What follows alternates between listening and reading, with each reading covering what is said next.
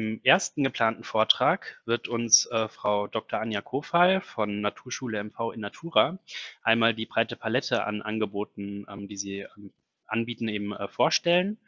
Ich freue mich ganz besonders auf Anja und du hast jetzt die Möglichkeit, ähm, deinen Bildschirm zu teilen, um auch Folien zu nutzen. Das will ich mal probieren. mal schauen, wie das gelingt. So. Super. Was seht ihr denn jetzt? Wir sehen noch das äh, PowerPoint-Programm, aber du müsstest noch in Vollbild stellen, dass wir.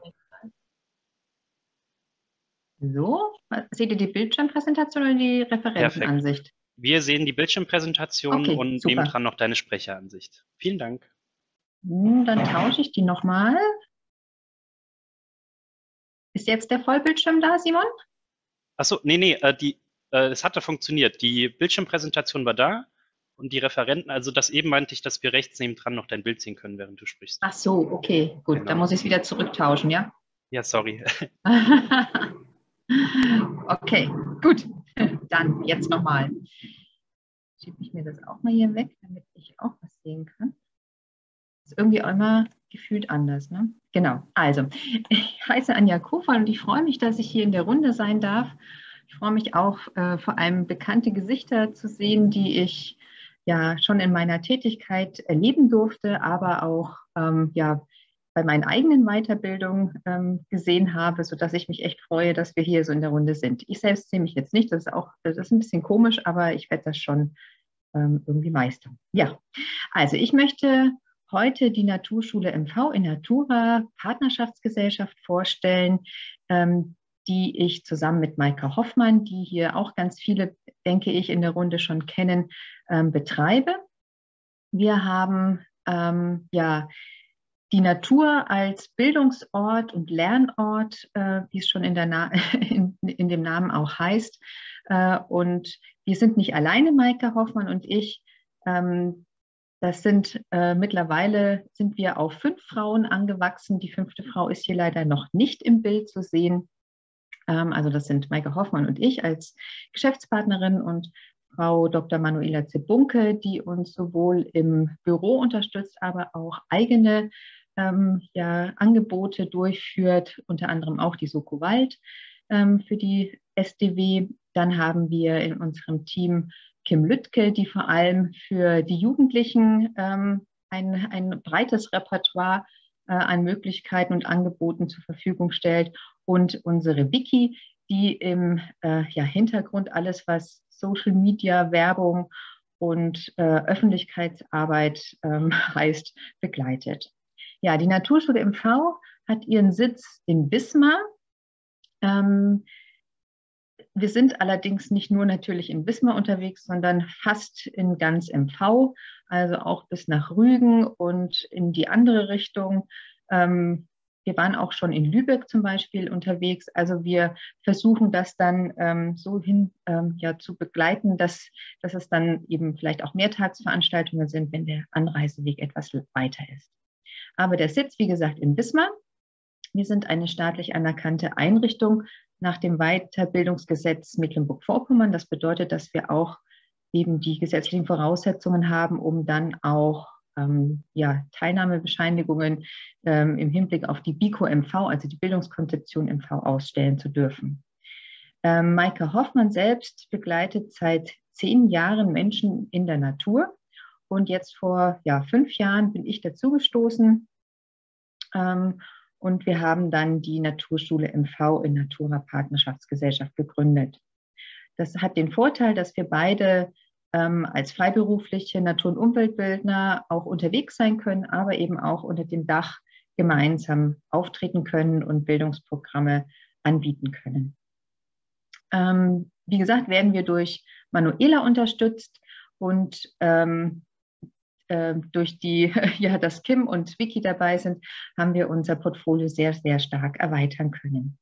Außerdem sind wir ähm, ja, nun Bildung, also nun zertifiziert, Norddeutsch und nachhaltig, arbeiten also nach dem Bildungsansatz Bildung für nachhaltige Entwicklung, sind außerschulische Bildungspartner und arbeiten auch mit äh, Institutionen zusammen, so zum Beispiel mit der SDW, ähm, aber auch mit dem ehemals Sozialministerium. Jetzt ist der Kita-Bereich ja äh, in das Bildungsministerium bei uns mit ähm, eingegliedert worden.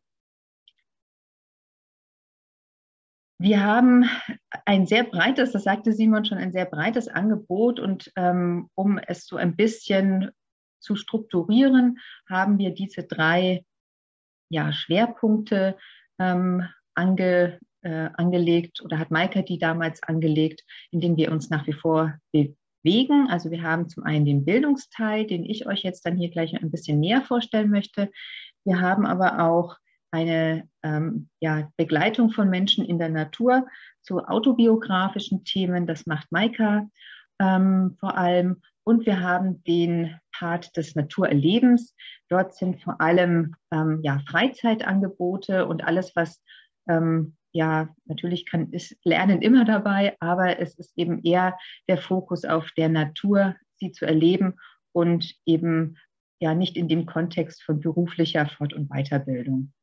Da haben wir zum Beispiel unterschiedliche Naturkindergruppen unterschiedlichen Alters, aber auch ähm, den mittlerweile schon legendären Lichterpfad im Advent, den wir jetzt auch als ganz kleine Schwester in Redgendorf als Lichtergarten angeboten haben letztes Jahr.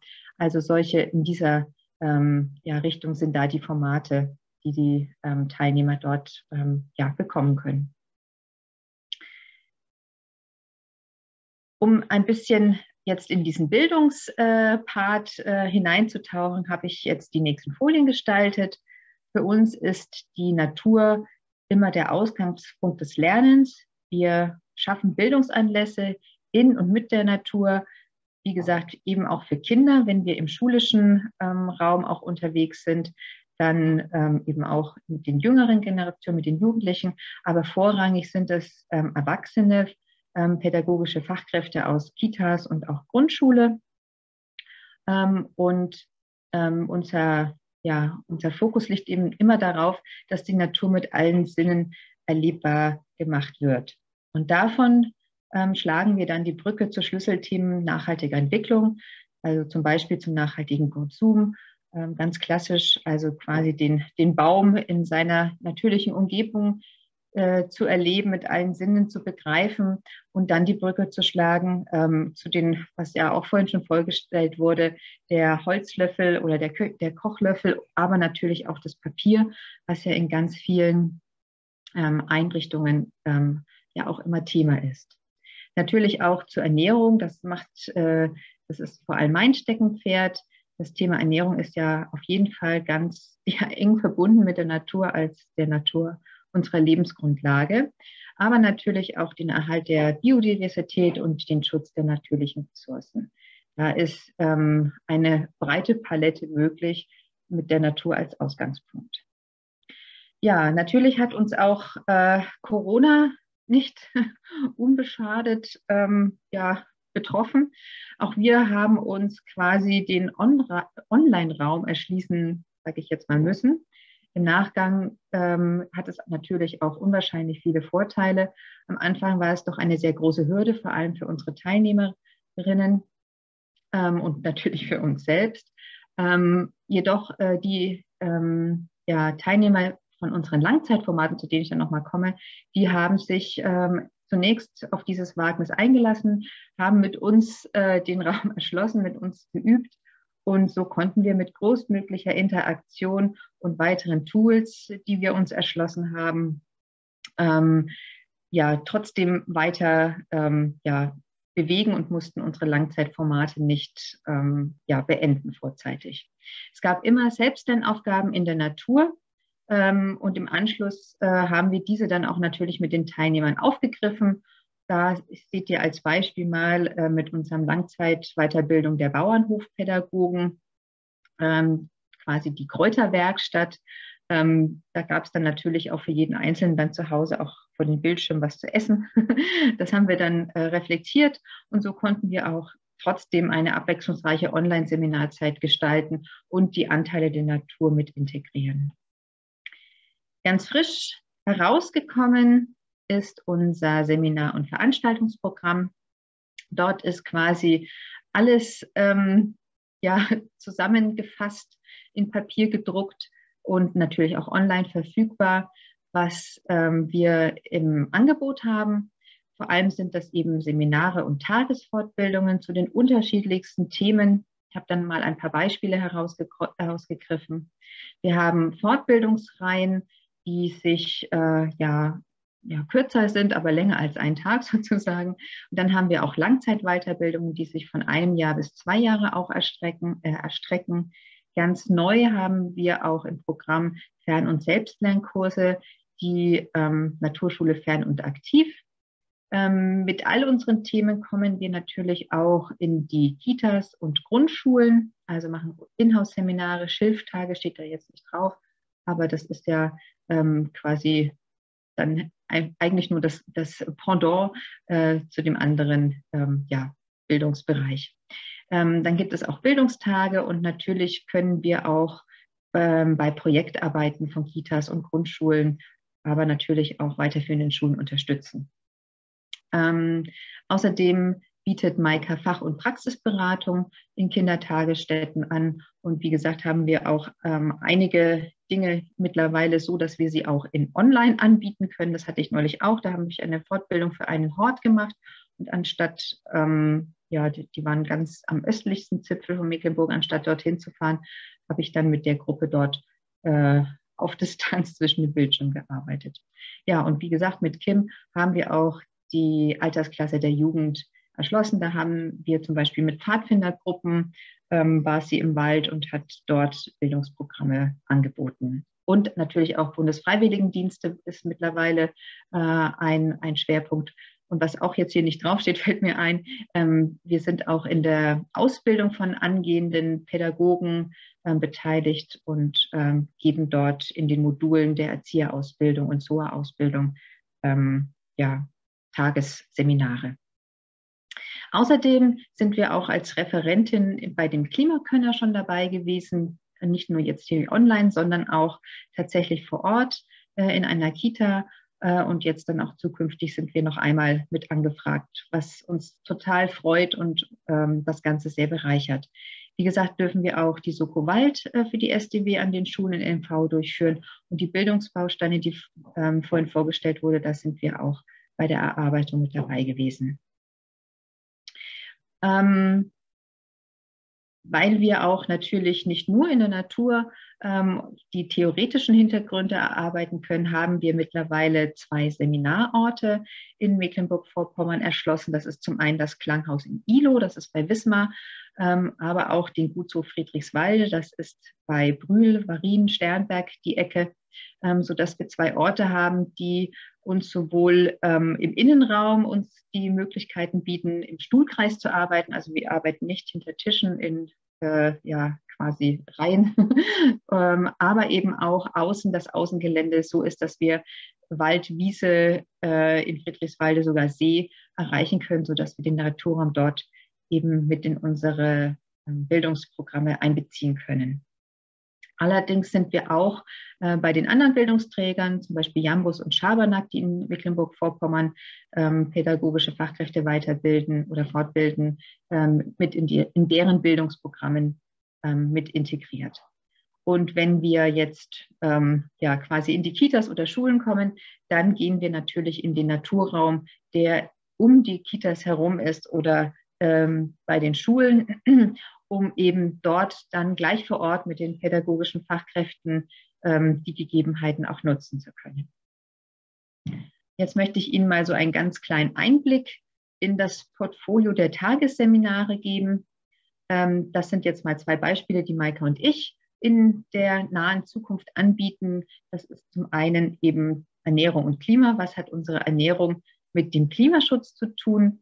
Äh, und Maike hat zum Beispiel Naturhandwerk, nachhaltig werken mit Kindern. Und bei allen Seminaren geht es halt immer darum, erst äh, ja, mit Naturerfahrung ähm, ausgehend davon auch zu ähm, kommen, was hat das mit nachhaltiger Entwicklung zu tun und wie können wir zusammen mit den Kindern uns diese Themen erschließen. Wir haben aber auch Gastdozenten bei uns in unserem Bildungsprogramm, sodass wir ähm, da auch eine, eine große Vielfalt anbieten können von ähm, tollen Menschen, die sich auf diesem Gebiet auch ähm, ja, profiliert haben.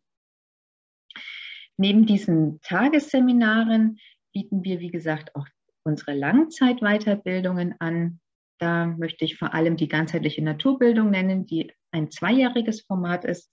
An dem habe ich auch selber teilgenommen und ähm, dort geht es wirklich darum, ganzheitlich in die Naturbildung einzutauchen, selbst sich ähm, zu reflektieren und die eigene Beziehung zur Natur und deren Elementen zu erleben und zu spüren. Das ist äh, eine sehr intensive Zeit gewesen und ähm, läuft, glaube ich, mittlerweile im vierten Durchgang.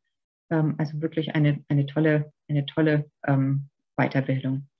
Dann haben wir alles andere sind einjährige Formate. Da gibt es die Natur- und Waldpädagogik, ähm, die eben auch schon ähm, mehrere Durchläufe nun ähm, ja schon durchgeführt sind und gerade wieder gestartet hat.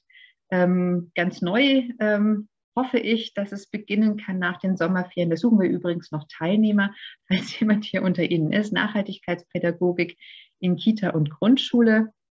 Dort möchte ich mit den TeilnehmerInnen ähm, ja, zu den Schlüsselthemen nachhaltiger Entwicklung arbeiten, intensiv eintauchen, wie diese in uns, in uns in der Pädagogik mit den Kindern zusammen begegnen können und was das natürlich ähm, ja, für Möglichkeiten gibt, um da mit den Kindern gemeinsam ähm, nachhaltige Entwicklung voranzutreiben. Ähm, auch starten neu wird die Wildpflanzen- und Gartpädagogik und außerdem naturbasierte Beratung und Begleitung. Also wir haben da unser Portfolio ähm, erweitert.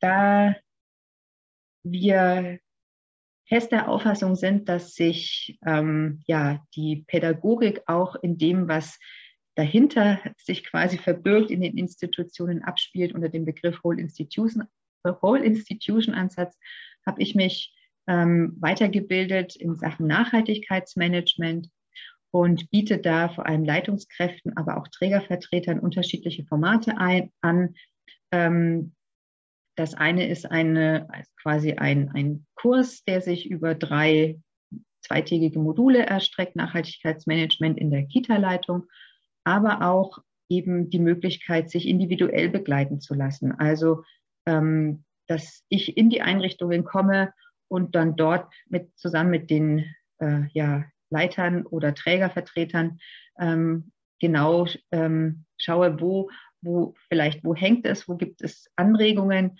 ähm, also da eine in, etwas individuellere Möglichkeit, sich begleiten zu lassen, um eben quasi nicht in der Pädagogik ähm, etwas voranzubringen und das dann quasi im, im Rücken wieder ähm, einzu, einzureißen. Ich sage immer, es ist wichtig, dass, ähm, dass die Kinder da nicht auf Widersprüche ähm, treten und äh, dass wir da quasi diesen, diese ganze Institution mitnehmen, dass sich Nachhaltigkeit in die DNA der Kita, Grundschule, Institution mit einfließen lässt.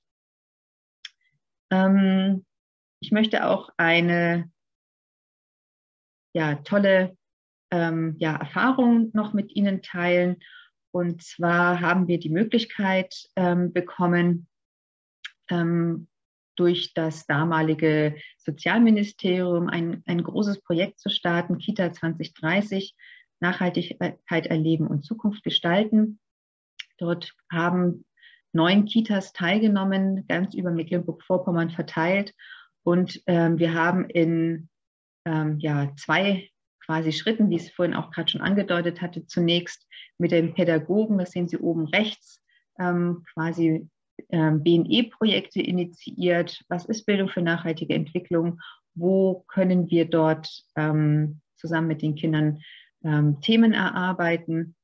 Wie Sie sehen, haben wir auch das, was auch vorhin erwähnt wurde, äh, mit Projekt oder arbeiten wir sehr gerne mit Projekt Leitfiguren. Hier oben sehen Sie Birki, der ein Birkenpilz, der ähm, quasi die Kinder begleitet auf dem Weg, äh, in dem Fall jetzt zu einem nachhaltigen Papierverbrauch ähm, dort ist eben von der Naturerfahrung mit Waldbesuchen im Wald, mit Erleben, was ist Holz hier, was ist Totholz, was hat der Wald für Funktionen, ist dann die Brücke geschlagen worden, ähm, ja, mal zu gucken, wie wird denn Papier eigentlich hergestellt? Das sehen Sie unten, Papierschöpfen, aber auch, wo ist eigentlich überall Papier in unserer Kita? Und dann kam man natürlich oder kamen die Kinder sehr schnell von dem Zeichenpapier hin, natürlich auch zum Toilettenpapier, dem Papier, was die Eltern mit nach Hause bekommen oder was an den Aushängen lag.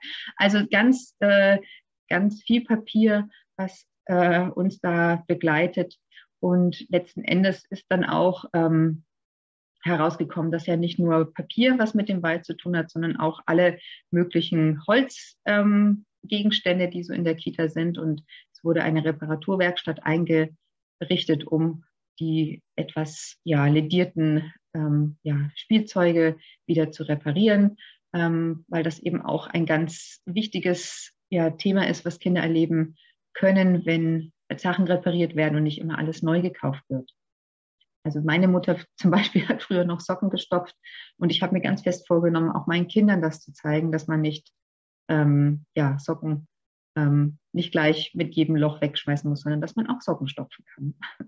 Was etwas persönlicher Einblick. Ja, dann haben wir natürlich unten links sehen Sie ein Bild äh, von einer Einheit, dass wir mit den Kita-Leitungs, also das oben, also das, was Sie in der Pädagogik, das war mit den pädagogischen Fachkräften dieser neuen Kitas. Und dann daran angeschlossen haben wir äh, mit den Leitungskräften dieser Kitas erarbeitet den bunten Blumenstrauß der Nachhaltigkeit, ähm, um eben zu einer Nachhaltigkeitsstrategie zu gelangen, die der Kita dann hilft. Zum einen, wir hatten ja schon die Mittel, ähm, zum einen bei den Entgeltverhandlungen ähm, Argumente zu haben, um andere oder nachhaltige Dinge anzuschaffen, weil es eben in der, äh, ja, eine, eine Begründung gibt, warum das nötig ist. Geht natürlich dann auch über die Zusammenarbeit mit den Mitarbeitern, aber auch natürlich mit den Elternhäusern, aber auch natürlich Umgang den, mit den Ressourcen ähm, in der Kita selbst. Ja, und letzten Endes, wie gesagt, unser Bildungsansatz von der Naturerfahrung zur Gestaltungskompetenz ähm, konnten wir hier trotz dieser Corona-Schwierigkeiten wunderbar miterleben. In allen Kitas hat sich ganz viel bewegt und wir werden diese Ergebnisse ähm, Anfang nächsten Jahres dann auch präsentieren dürfen. Ja, und nun vielleicht zum Abschluss, wie kommt man nun ähm, ja, zu unseren ähm, Angeboten, Infos und wie kann man sich anmelden? Wir haben zum einen eben die Homepage www.naturschule-mv.de. Dort sind ja ist unsere quasi unser Anliegen und alle, wie Sie sehen, unsere Bereiche Bildung, Begleitung, Naturerleben ähm, aufgegliedert. Dann gibt es einen Veranstaltungskalender und von dem aus kommt man dann auch direkt zu einer Anmeldefunktion, sodass die Anmeldung ähm, ja ziemlich ähm, ja, unkompliziert mittlerweile laufen kann. Ähm, es gibt auch die Möglichkeit, sich zu einem Newsletter anzumelden, damit man die tollen nächsten Veranstaltungen oder andere Neuigkeiten, die wir haben, ähm, nicht verpasst mehr. Ähm, wie gesagt, habe ich gesagt, haben wir mittlerweile auch die Möglichkeit, über in den sozialen Medien verfolgt zu werden. Da bin ich noch sehr ganz neu in dem Gebiet. Da haben wir ja zum Glück tatkräftige Unterstützung. Wir sind zum einen bei Facebook vertreten. Ähm, da habe ich einfach jetzt mal einen Screenshot von, von der Seite gemacht. Und ähm, dann natürlich auch bei Instagram. Ähm, da gibt es dann noch mehr, gibt es auch außer, außer diesen Tagessemin Langzeitweiterbildung, ne, also dieses, was ich Ihnen jetzt vorgestellt habe, gibt es natürlich auch immer kreative Gestaltungstipps unter dem Rubrik Mach mal. Da gibt es Rezepte, aber natürlich auch, ähm, wie mit Naturmaterialien ähm, gewerkt werden kann. Wir sind ähm, quasi ähm, ja, spezialisiert auf altes Handwerk.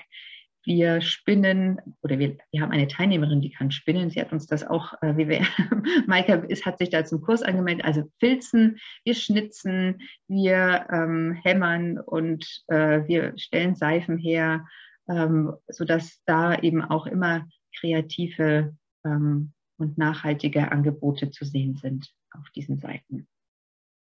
Ja, und dann ja, möchte ich mich ganz herzlich für Ihre Aufmerksamkeit bedanken und freue mich auf Fragen. Ich das hier stoppen kann. Ja. Super, vielen, vielen Dank, Anja. Ähm, zum ähm, Vortrag parallel wurden noch keine Fragen in den Chat gestellt. Also Sie haben nach wie vor natürlich noch die Möglichkeiten, ähm, diese Funktion zu nutzen. Ähm, ich habe mir auch noch ein paar Sachen notiert. Äh, auf jeden Fall erstmal ganz herzlichen Dank, dass ihr euren großen Erfahrungsschatz äh, und eure Angebote hier in diesem Format auch nochmal präsentiert habt. Und ähm, du hattest auch das Projekt Kita 2030 angesprochen. Ich war selbst bei einem der Netzwerktreffen auch mit ja. dabei.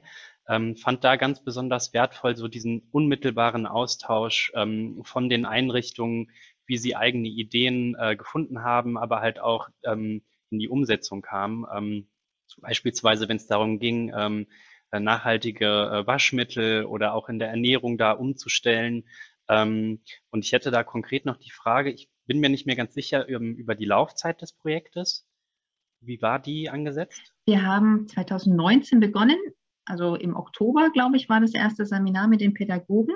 Und das Projekt ist eigentlich äh, im August zu Ende, aber wir haben eine, ja, wegen Corona eine, also kostenneutrale Laufzeitverlängerung heißt das, glaube ich. Also wir werden das Ganze dann im Februar ähm, ist das dann quasi abgelaufen. Also im Januar ist okay. jetzt die Abschlusstagung geplant ähm, zu der wir vielleicht auch nochmal auf euch dann zukommen. Das ist ein guter, guter Aspekt.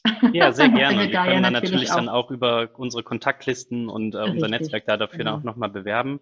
Und genau. ähm, die Ergebnisse dieser Abschlusstagung, werden die dann auch nochmal zur Verfügung gestellt?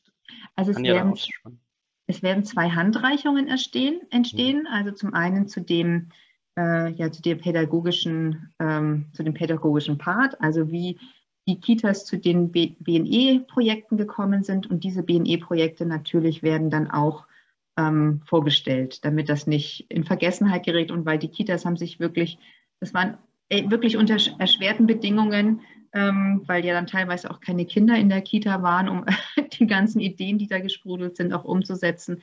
Um das äh, auch für andere Kitas, also dieses, diese Broschüre soll dann jede Kita in MV bekommen ähm, damit ähm, dieses, das nicht eine Eintagsfliege bleibt, sondern sich dann eben quasi in die, in die Breite schieben lässt, damit jede Kita die Möglichkeit hat, ähm, dort auch tätig werden zu können, beispielhaft. Klasse. Ja, also auf jeden Fall super, dass das aber, dann aber, auch. Ja, gut, dass du Frage sagst. Nee, ich habe, nee, gut, dass du sagst. Ich, ich bin das nochmal Anja. Ach, ja. Ich habe was ganz Wichtiges vergessen. Es stand unten in meinen, was ich mitsagen muss. Und zwar arbeiten wir natürlich nicht alleine dieses Projekt Kita 2030, sondern da ist Beate Kohler mit dabei. Und äh, Beate Kohler hat ja auch ähm, das, der Wald steckt voller Nachhaltigkeit. Ja, ich weiß nicht, ob das jetzt der richtige genau, Titel ist. Genau, das ist ein, eine, ja. eine Bildungsbroschüre von der Richtig, SGB. genau. Ja, genau. Und da ähm, sind eben auch äh, quasi ähm, Projekte ähm, veröffentlicht, die damals zusammen mit Förstern äh, im Tandem entstanden sind. Und in der Art und Weise, vielen Dank Simon für die Erinnerung, also in der Art und Weise werden dann auch diese Ergebnisse aufbereitet. Und zusammen mit Beate haben wir da eine ja, erfahrene ähm, ja, Pädagogin und Wissenschaftlerin bei uns an der Seite, damit das dann auch so geschrieben wird und dargestellt wird, vor allem damit das auch dann nachvollziehbar ist. Klasse. Ja, auf jeden Fall sehr wertvoll und das bringt mich auch nochmal ähm, zu einem Hinweis an alle. Ähm, diese Broschüre wird ja auch online dann verfügbar sein, äh, diese Handreichung, oder wird das tatsächlich gezielt nur an die Kitas in MV geschickt? Also da muss ich natürlich gestehen, weiß ich nicht, was das äh, mittlerweile Bildungsministerium damit ja. vorhat. Ähm, wenn es denn so ist, dann wird das natürlich ähm, ja auch äh, online zur Verfügung gestellt. Nur gedruckt mhm. wird es eben nur für die Kitas, so ist es. Gesagt. Okay, genau. Ja. Ähm, weil das ja eben halt dann auch ähm, für andere mhm. Einrichtungen mhm. in ganz Deutschland äh, ja. eine große Inspiration ja. sein kann. Und ähm, da auch nochmal ähm, ein Hinweis zu dem Markt der Möglichkeiten, dass sie dann natürlich nicht nur, also idealerweise nicht nur die äh, Dokumente anschauen zu ihrem Bundesland, sondern gegebenenfalls auch mhm. zu anderen Bundesländern. Nicht nur, weil da Angebote sein können, die ähm, landesübergreifend angeboten werden, sondern auch ähm, immer wieder kostenlose Bildungsmaterialien, die eben online zur Verfügung stehen, da gelistet sind, wo natürlich alle dann auch Zugriff drauf haben mhm. und nicht nur das jeweilige Bundesland. Das äh, wollte ich da auch nochmal erwähnt haben. Ich finde es auch äh, großartig, dass ihr ähm, eure Programme, ähm, du sagtest ja auch in ähm, die Ausbildung pädagogischer Berufe mit einbindet. Äh, die Erfahrung haben wir eben auch gemacht, dass das ganz wichtig ist, äh, eine breitere Masse ähm, zu erreichen und eben nicht nur sowieso schon Naturinteressierte und die da engagiert sind, das auch in der Bildungsarbeit umzusetzen, sondern dass das halt auch gleich in der Ausbildung stattfindet. Und genauso auch ähm, noch nicht so oft gefunden von mir, ähm, eben dieses Beratungsangebot für Kita-Leitungen. Wie kann ich denn meine Bildung, äh, meine Einrichtung als Ganzes dann eben halt auch nachhaltiger ausrichten? Ich denke, das ist äh, ein sehr wichtiger Schritt. also da, wenn ich darf, darf ich, kann ich da auch noch Gerne. ein bisschen was dazu sagen. Ich habe da ähm, jetzt tatsächlich mit einem Träger, also es wird nachgefragt tatsächlich ähm, und das ist wirklich, also wirklich, wie, wie soll ich sagen, das ist eine gegenseitig sich befruchtende Angelegenheit, weil ähm, durch die Erfahrung aus Kita 2030 habe ich natürlich schon so viele ähm, Bilder vor dem Kopf, aber nochmal mit anderen Trägern zusammenzuarbeiten, das macht es unwahrscheinlich fruchtbar. Also befruchtet sich und also macht es macht wirklich Sinn, sich da die Zeit zu nehmen, ähm, da äh, auch zum Beispiel große Träger in Zukunft ähm, ist es auf EU-Ebene geplant, dass auch ja nicht ähm, börsengelistete Unternehmen Nachhaltigkeitsbericht pflichtig werden. Also auch da sind dann soziale Träger eben auch in der Pflicht, sich mhm. äh, da ähm, ja eine Nachhaltigkeitsstrategie und einen Nachhaltigkeitsbericht ähm, ja damit zu beschäftigen, einfach mit diesem Thema. Und das kann ein guter Schritt dorthin sein. Also so wurde mir das zurückgemeldet. Ja, und auf jeden Fall, ja, dass ihr dann die ersten Erfahrungen dahingehend dann auch sammelt und die entsprechend teilen könnt. Großartig. Mhm. Super. Ähm, schauen wir mal kurz in den Chat. Wir haben bisher auch keine weitere Frage erhalten. Ähm, ja, äh, nochmal für mich, äh, von mir persönlich äh, fand ich auch ähm, ja diesen Social, die Social Media Arbeit mhm. mit Instagram ähm, echt äh, auch nochmal ja so ein kleines zusätzliches Gadget, was äh, so diese kleinen Wissenshäppchen oder kleine Anregungen äh, auf kurzem Wege dann auch nochmal weitergeben. Äh, es ist natürlich nicht jedermanns oder jeder Frau Sache, ähm, da jetzt so aktiv zu sein im Social Media Bereich, aber ich ähm, selbst tue das äh, im Privaten dann auch, auch immer wieder und sehe da einfach viele äh, Vereine, Institutionen, ähm, die da einfach über diesen kurzen Weg ähm, ja, ähm, Anregungen und Wissensvermittlung auf, auf einfach nochmal so zusätzlich. Ne? Das ist natürlich keine mhm. Ergänzung äh, der eigentlichen Bildungsprogramme, aber schön, dass ihr das jetzt auch verfolgt. Ja. Ähm, so, an dieser Stelle ähm, erstmal ähm, herzlichen Dank an dich. Und äh, wenn ähm, ja über die Veranstaltung hinaus Fragen bestehen, haben Sie ja auch auf jeden Fall die Kontaktdaten ähm, von, von Anja und äh, können da gerne dann eben auf die Angebote zukommen. Mhm. Und ähm, ja, vielen, vielen Dank, Anja. Bitte, und bitte.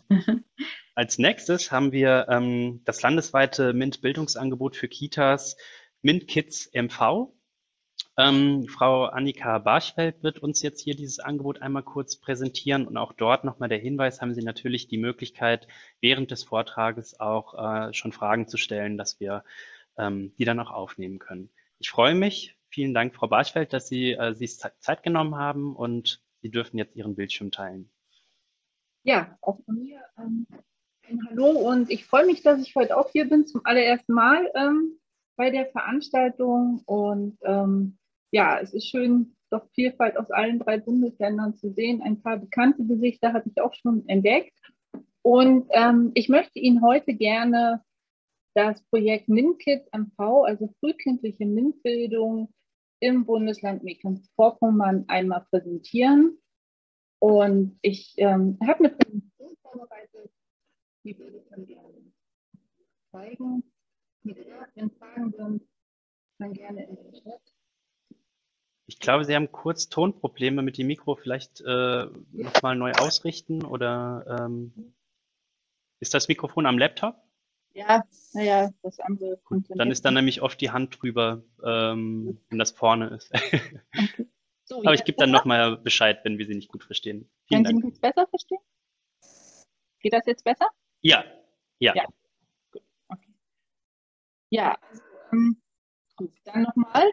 Äh, also ich möchte Ihnen heute gerne das äh, Projekt MINT-Kids MV vorstellen. Das ist also ein Netzwerk für, für frühe MINT-Bildung im Bundesland. Und gegründet äh, wurde das Ganze im November 2016.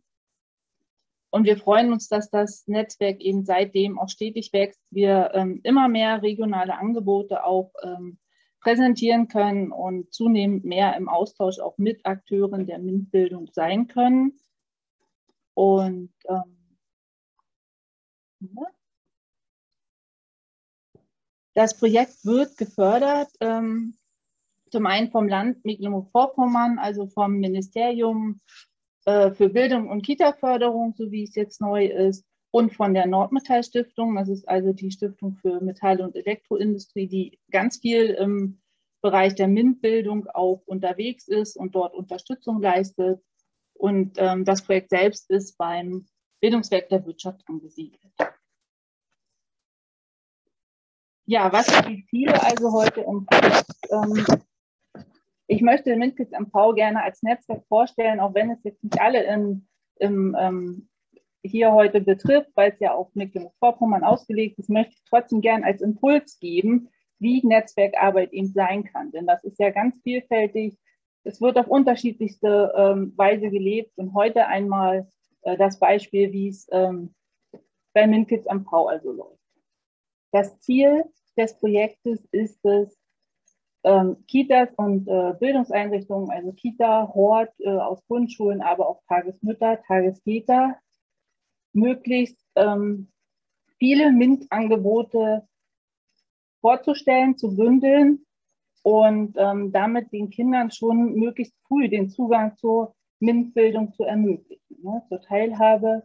Und deshalb sind die Zielgruppen auch schon die ganz kleinen, sprich die ähm, Kinder aus dem Krippenalter, also von null an bis hoch in die Grundschulen, sprich äh, in die ähm, Hortbetreuung hinein.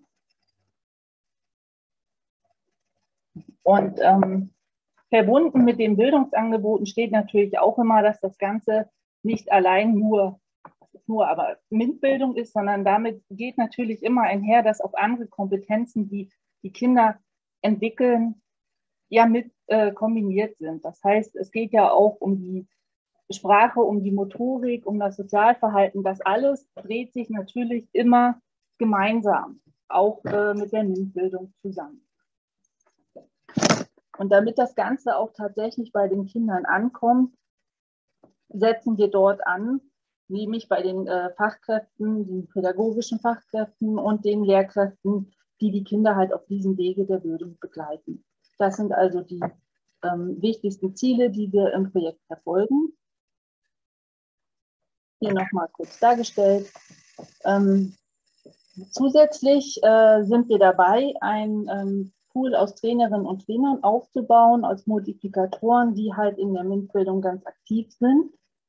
Das findet man auf unserer Webseite, das kommunizieren wir auch, eben auch Veranstaltungen gerne. Und diesen Pool erweitern wir auch stetig. Zusätzlich ähm, leisten wir unseren Beitrag bei der Qualitätsentwicklung im Land. Das heißt, äh, wir sind Mitglied eines Fachbeirates, der sich damit beschäftigt, welche Bedarfe es im Land gibt.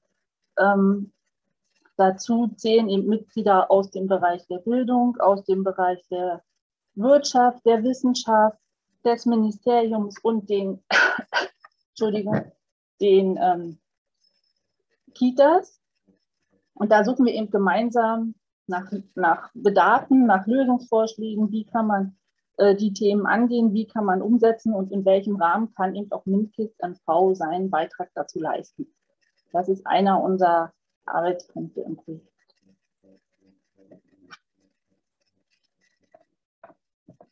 Ich habe schon gesagt, also bündeln und transparent äh, machen von Bildungsangeboten ist eines unserer Hauptaufgabenfelder. Und ähm, wir haben es ja vorhin schon gehört. Ähm, das Interesse an MINT ist groß. Also Naturwissenschaft, Technik, ähm, das sind Themen, die Kinder natürlich ganz schnell begeistern. Aber für viele ist es halt schwierig, diese Angebote überhaupt zu finden, zu schauen, wo gibt es denn etwas, in welcher Region. Wir sind ein Flächenland und da ist es gar nicht immer so einfach zu sagen, okay, äh, eine, eine Fortbildungsveranstaltung wäre gut, das Thema interessiert mich, aber wer bietet denn sowas an und wo und an wen wende ich mich und was gibt es für unsere Einrichtungen, wo können wir hingehen? Das sind so Sachen, das kostet viel Arbeit und viel Zeit und die fehlt in der Regel in den Einrichtungen. Und deshalb bündeln wir das Ganze. Wir suchen also ähm, im ganzen Land verteilt Angebote, da sehen Sie hier mal so zusammengefasst ein paar ähm, große Punkte, die gehe ich nachher auch nochmal so an Einzelbeispielen durch. Wir haben zum einen äh, den großen Bereich der Versuch macht klug, Experimentierstation. Das ist also ein Angebot, was MINTKIDS tatsächlich selber macht. Da komme ich später nochmal drauf. Ähm, wir arbeiten zusammen mit dem Haus der kleinen Forscher, die auch Mitinitiatoren ähm, bei der Gründung von MinKids waren. Das, äh, denke ich mal, kennen viele von Ihnen auch, denn das sind ja äh, Landes-, äh, also bundesweite Angebote, die dort von der Stiftung kommen. Wir haben, wir haben MINT-Museen im MV, die haben wir also aufgenommen. Das sind Partner, die also auch in diesen Bereichen ganz viele Angebote für Kitas machen, für Kinder, für Grundschulen. Ähm, die haben wir dort zusammengefasst. Genauso gibt es den Bereich Wettbewerbe und Förderung. Da geht es zum einen darum, Wettbewerbe ähm, als Einrichtung, aber natürlich auch direkt für die Kinder und ähm, Förderung. Was kann ich tun? Wo kann man eventuell Unterstützung anfragen? Das sind so dann die Themen. Wie gesagt, der Trainerpool sehen Sie auf der rechten Seite, sehen wir immer fortlaufend ergänzen. Zum Thema Mathematik äh, haben wir eben auch die Welt der Zahlen. Das ist ähm, auch immer ein gern gesehener Bereich. Wir haben den Bereich ähm, Wald, Natur und Wildnis. Wir haben Lebenswertes, das ist in dem Fall ähm, eine Sammlung von Literatur, von Fachzeitschriften, die wir vorstellen, die einfach auch als Anregung gelten sollen.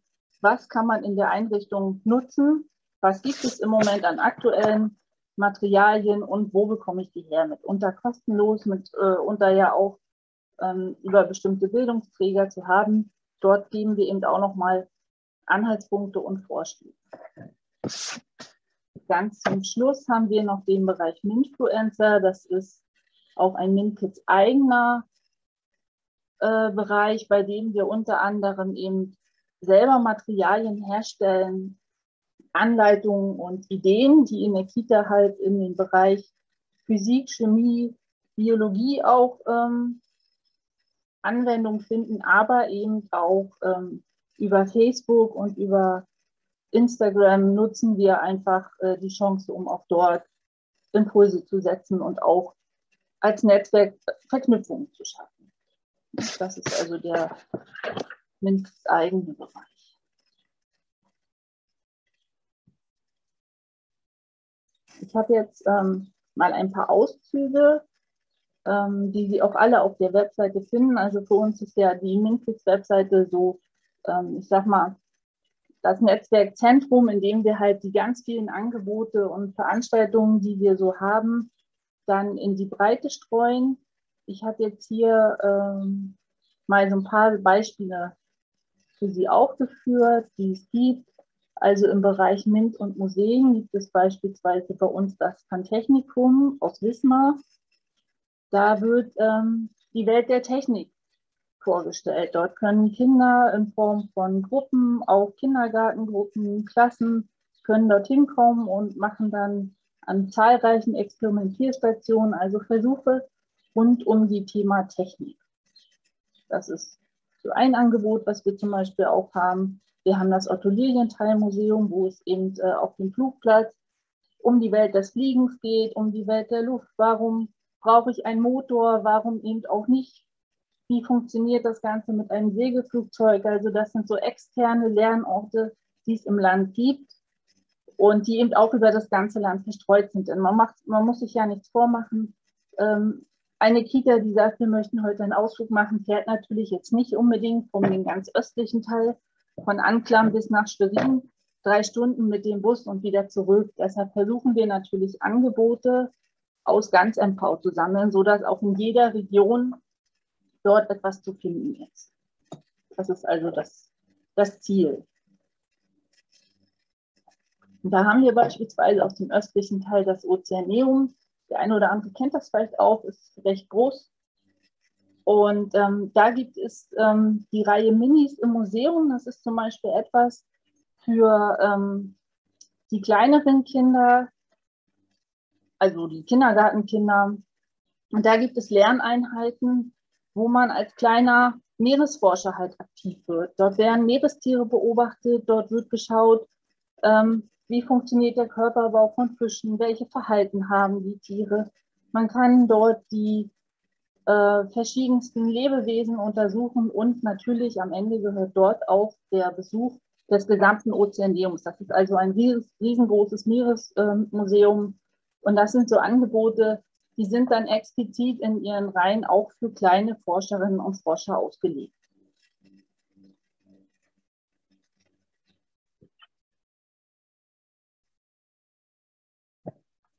Das nächste, was wir noch haben, sind, ist ja die Welt ähm, der Zahlen. Und das ist ja etwas, was viele von Ihnen aus dem Alltag in den Einrichtungen ja auch kennen. Also rund um Zahlen, um Mengen, um Größen und Formen. Das ist ja das, worum es schon bei den ganz, ganz Kleinen geht.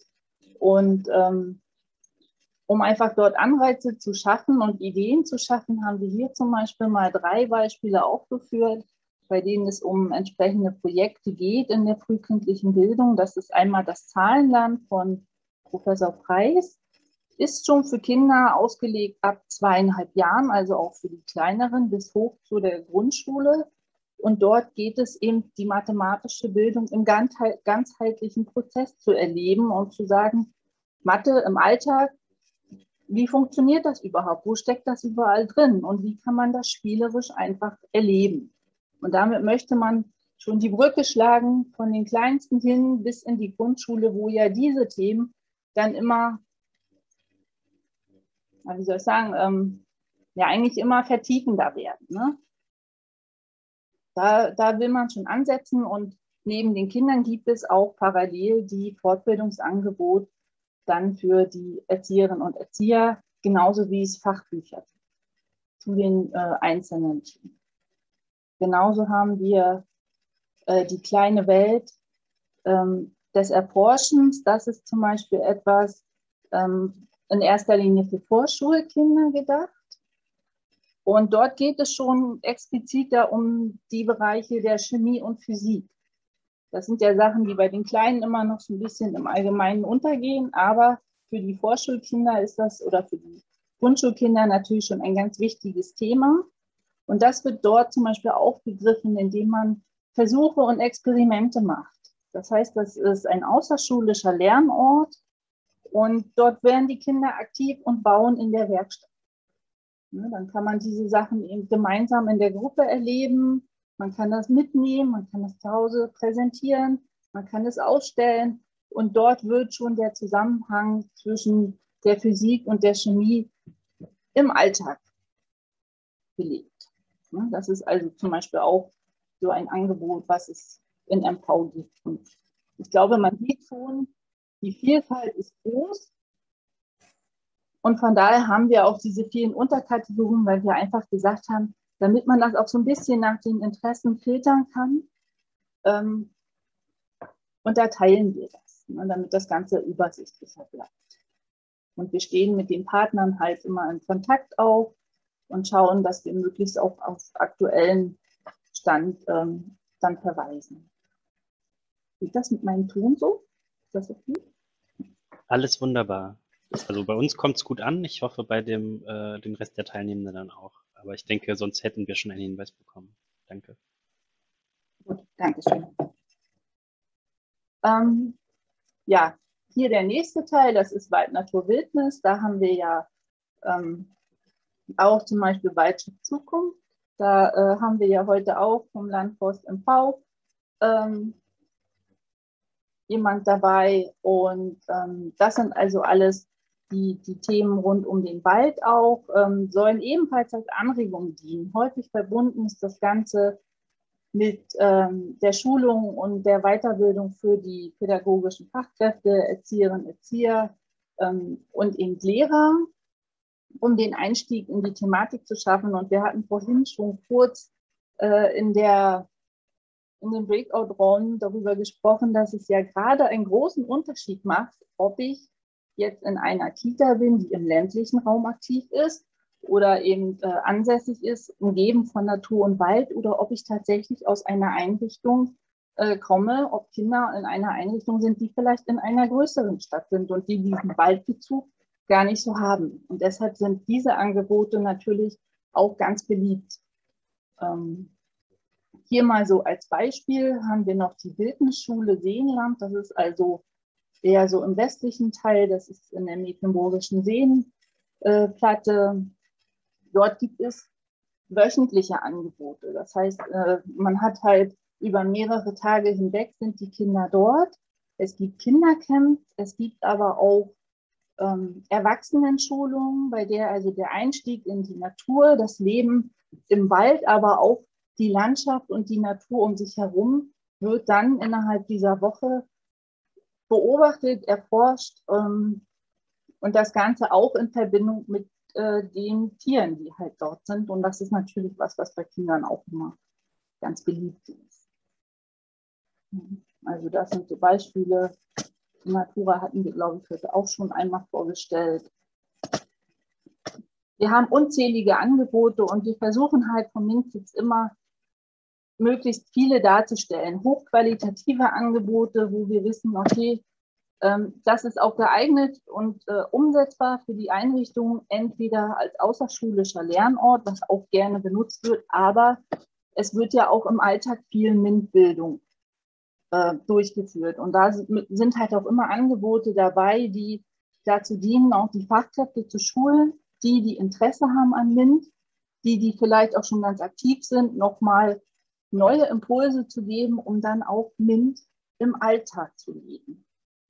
Ja, und wirklich im Haus auch aktiv sein zu können, in der Einrichtung und auch in, gerade im Hortbereich, der ja doch auch manchmal nicht so abwechslungsreich ist, wie man ihn sich vielleicht wünscht.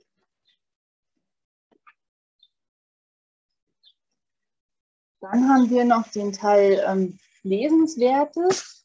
Das ist für uns also der Bereich, in dem wir Literatur vorstellen, in dem wir Ideen liefern, was gibt es aktuell. Das können Bücher sein, das können Lesereien sein. Wir haben ähm, hier zum Beispiel ähm, den Teil Lesen, Staunen, Forschen. Das ist von der Klaus Schirrer Stiftung und der Stiftung für Lesen erarbeitet worden. Und da wurden beispielsweise 50.000 Exemplare an Kitas in ganz Deutschland ausgegeben. Das sind auch Materialien rund um MINT. Das sind so Sachen oder auch die Entdeckerfibeln, die kennen vielleicht ähm, auch die einen oder anderen. Das sind regelmäßig wechselnde Themen, die dann auch im Kleinformat an die Kitas gehen, um einfach auch dort zu sagen, man hat direkt etwas in der Hand, was man halt auch den Kolleginnen und Kollegen mitbringen kann, was man dann immer mal wieder aus der Schublade holt, sage ich mal, um die Themen wieder aufzugreifen und auch um, um Anregungen zu bekommen. Das sind so Beispiele. Genauso haben wir den Verweis auf Zeitschriften. Ähm, zum Beispiel Forscht mit ist ein Magazin, der Haus der kleinen Forscher. Wir haben auch ähm, vom Ministerium für Bildung einmal das Forschermagazin, das kommt zweimal im Jahr raus. Und so gibt es eben eine ganze Menge an Möglichkeiten, wie man eben auch regelmäßig zu diesen Themen einfach auf aktuellem Stand gehalten wird und dann äh, Möglichkeiten hat, das Ganze einfach aufzugreifen.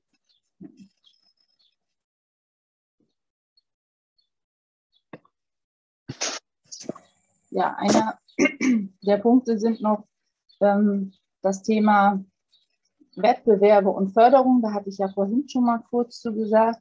Es gibt verschiedene Wettbewerbe, die sind eben auch mitunter bundesweit. Da war zum Beispiel der Forschergeist ein Wettbewerb, der bundesweit war. Oder auch ähm, der Deutsche Kita-Preis. Und es gibt auch noch zuletzt was der Kids Kreativpreis von der, ähm, vom Fraunhofer Institut. Da war es zum Beispiel auch so, dass es darum ging, die Erzieherinnen und Erzieher zu motivieren, eben spielerisch MINT zu entdecken. Das heißt, selber aktiv zu werden und mit den Kindern halt dann Möglichkeiten zu erarbeiten und Beispiele zu bringen, wie es denn in der eigenen Einrichtung sein kann. Die andere ähm, Möglichkeit ist eben auch noch zu sagen, Wettbewerbe oder es gibt noch die Forscherpfütze, das ist zum Beispiel auch ähm, von der äh, Hans-Biedel-Stiftung. Dort geht es insbesondere auch um die Unterstützung von kleinen Kitas und kleinen Trägern, Äh, und dort kann man Ideen einrichten, äh, einreichen, wie man zum Beispiel ähm, MINT-Bildung im eigenen Haus umsetzen will, welche Projekte und Ideen es dazu gibt. Und dann äh, gibt es dort mitunter Förderungen, finanzielle, die bis über mehrere tausend Euro dann äh, in einem Zeitraum von äh, drei Jahren zum Beispiel ähm, ausgegeben werden. Also das sind so Möglichkeiten. Wir möchten eben auch dazu ähm, ja, aufrufen, aktiv zu werden, aktiv zu werden in der Arbeit, aber eben auch, um langfristig in den MINT-Bereichen äh, agieren zu können, muss natürlich auch entsprechend die Kita dafür ausgestattet sein. Sei es draußen auf dem Gelände oder eben auch einfach mit Lernmaterialien drin. Und selbst da versuchen wir Möglichkeiten aufzuzeigen, wie kann man sich dort Unterstützung in den Einrichtungen nehmen. Das ist ja auch nicht immer so einfach. Und man darf nicht vergessen, Lernmaterialien sind ja nun mal auch äh, sehr preisintensiv. Das kommt, das kommt ja auch nicht.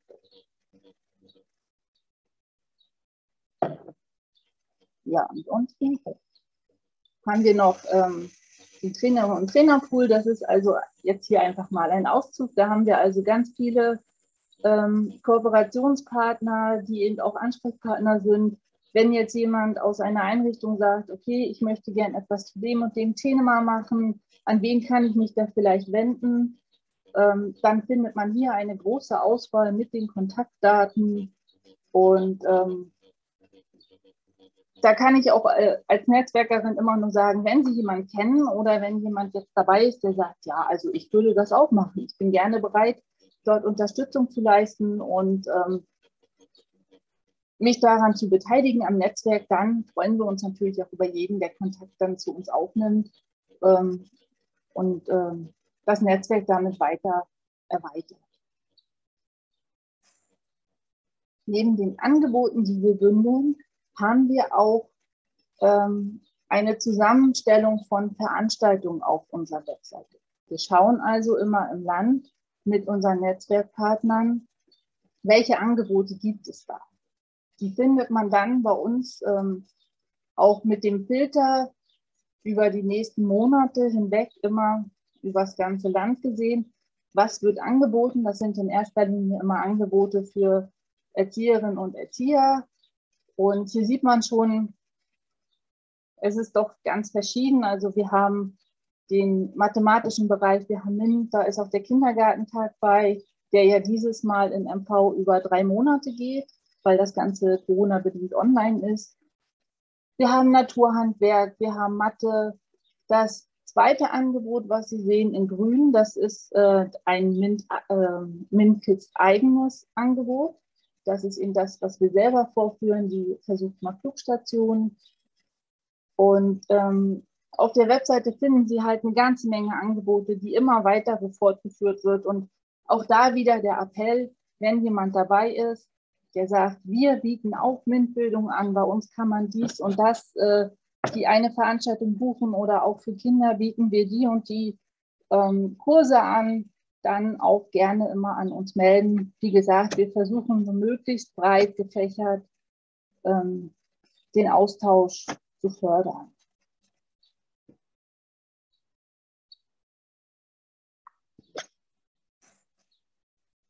Neben der Transparenz ähm, führt MinKids natürlich, um die Netzwerkarbeit zu unterstützen, auch eigene Veranstaltungen durch.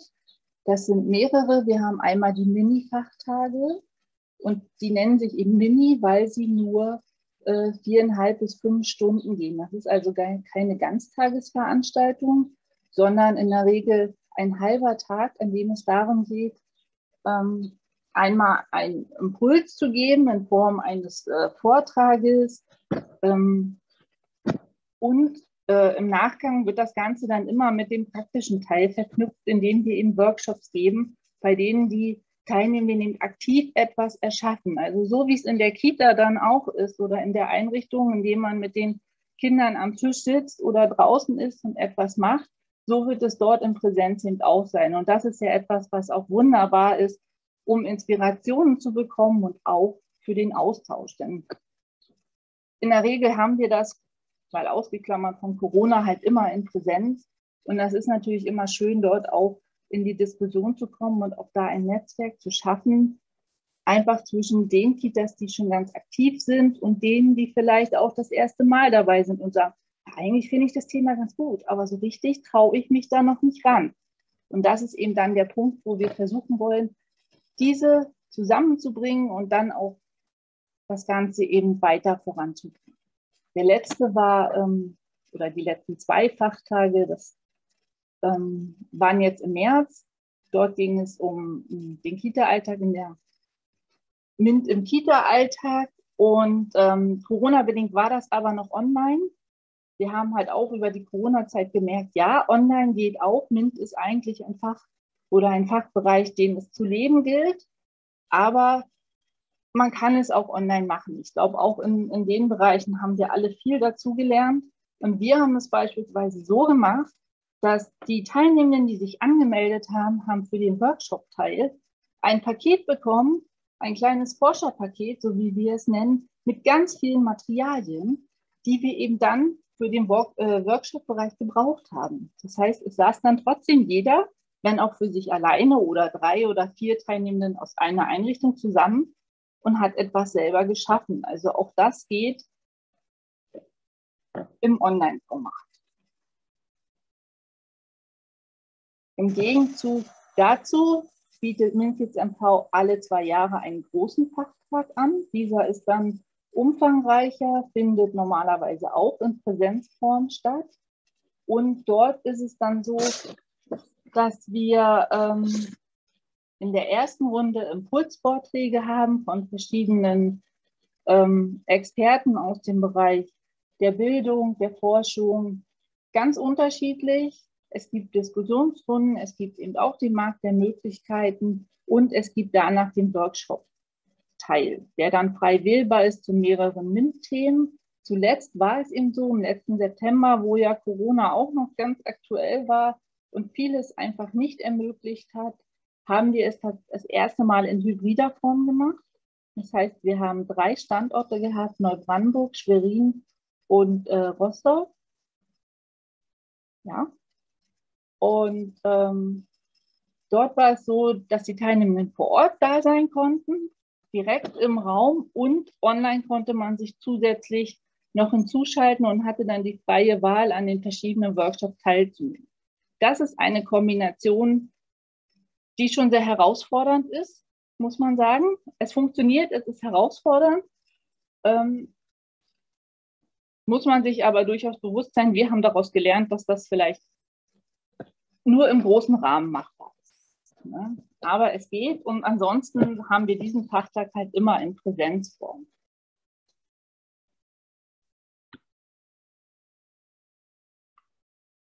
Und zum Schluss, eins der Sachen, die besonders beliebt in den Einrichtungen sind, ähm, das sind unsere Versuch macht klug Experimentierstationen. Das sind also insgesamt ein Set aus 19 Stationen und ähm, die sind so geschaffen, dass die Kinder eben die Naturwissenschaft und die Phänomene, die es gibt, selber ähm, erforschen. Also es geht nicht darum, dass die Erzieherinnen und Erzieher das Ganze mit den Kindern aktiv machen und ihnen zeigen und ausprobieren, was es denn heute gibt, sondern die Kinder sollen ganz allein und selbstständig in der Gruppe die Phänomene ja, einfach erproben. Und ähm, die Fachkräfte sind in dem Fall eher die Betreuer. Insgesamt gibt es 19 Stationen und ich habe hier einmal aufgeführt, also wir haben die Thematik Licht, Spiegel, Farben, Schatten, Elektrizität, Magnetismus, Wasser und Luft. Das ist also so ein rundum MIN-Paket. Und ähm, das bekommen die Einrichtungen stets für vier Wochen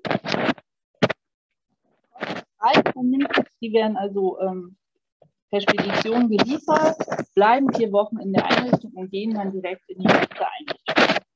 Und das ist etwas, was sehr gut ankommt, weil das natürlich viele Stationen sind mit ganz unterschiedlichen Themen und die sind ihnen so gebaut, dass es für die verschiedenen Altersgruppen sehr gut geeignet ist.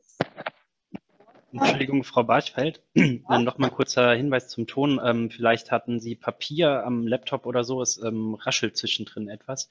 Ähm, okay. Dadurch konnte man die letzten Sätze nicht so gut verstehen, aber genau, nur kurz der Hinweis, dass. Okay, ja, danke.